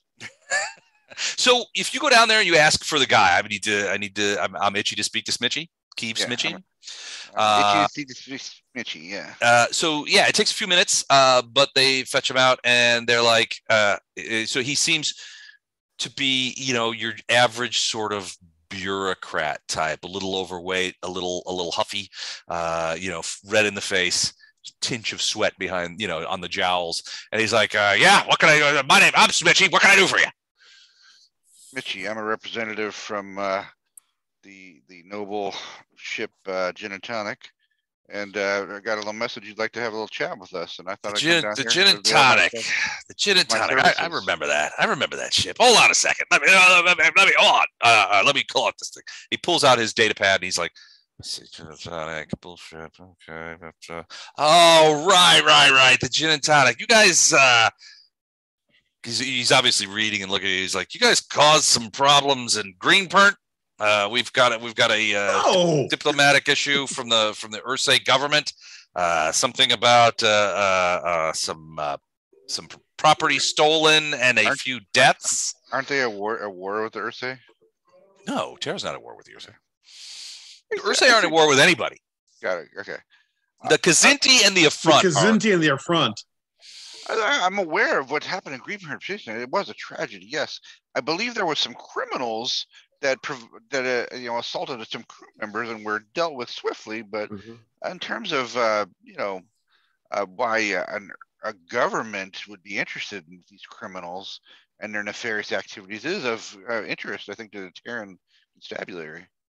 Hold that thought. We should record this. I'm probably going to need to take a real statement. Come, uh, just sit over there for a second. He points to the, and he, you see him walk over, and he's talking to some uh, Vargas I'm, I'm going to make sure my uh, my body pistol is somewhere nearby just in And He's case. like, we need to we need to use the statement room, and she's like, it's fine.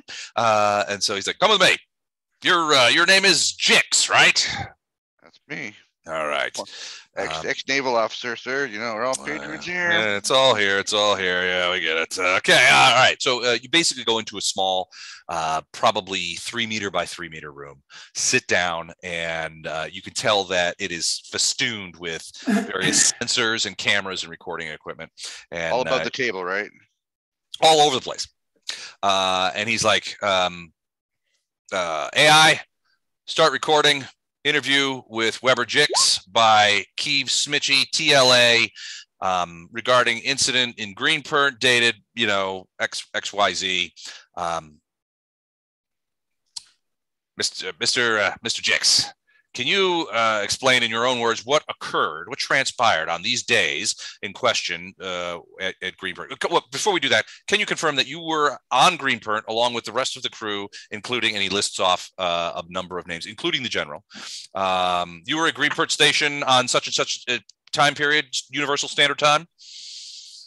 Well, I'm a bit of a drinker, sir, so I can't say everybody you mentioned is on that list, but I know the general for sure was there. You definitely want to you want to finger him if you need anything.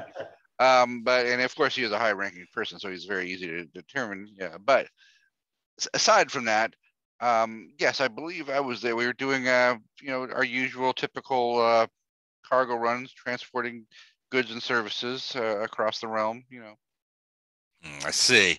And uh, can you describe to me uh, the incident that occurred, in which is the core of the Ursae complaint against you and the and the rest of the crew of the Gin and Tonic? In your own which, words, please. Which uh, which which part? I believe there was. he kind of looks at you sideways. He's like, "Stop recording." How many parts are there? Are there multiple incidents that you'd like to discuss? Oh, uh, let's start with the original one, and we'll just leave it at that. Start recording. Describe the in, incident. in the uh, in the transfer of cargo, we realized um, the person we that we were transferring uh, passengers of cargo had passed away in his stateroom. Uh, we noted this in the ship's log, which we found and recorded the time. And uh, when we went to look at the cargo he'd asked us to transport, we realized it was a not only a living person, but a person of uh, you know of note, or uh, at least of scientific note, that had been cryogenically frozen, potentially against his will. So we wanted to uncover this nefarious scheme before we turned it over to the Greenport Station uh, people, which we did. You can ask, uh, I believe, Bill Scaramouche can certainly uh, add some detail to this. Uh, we're, we're good with all the bills over there. You know the bills, right? They're they're good people, the bills, um, and the Stacys.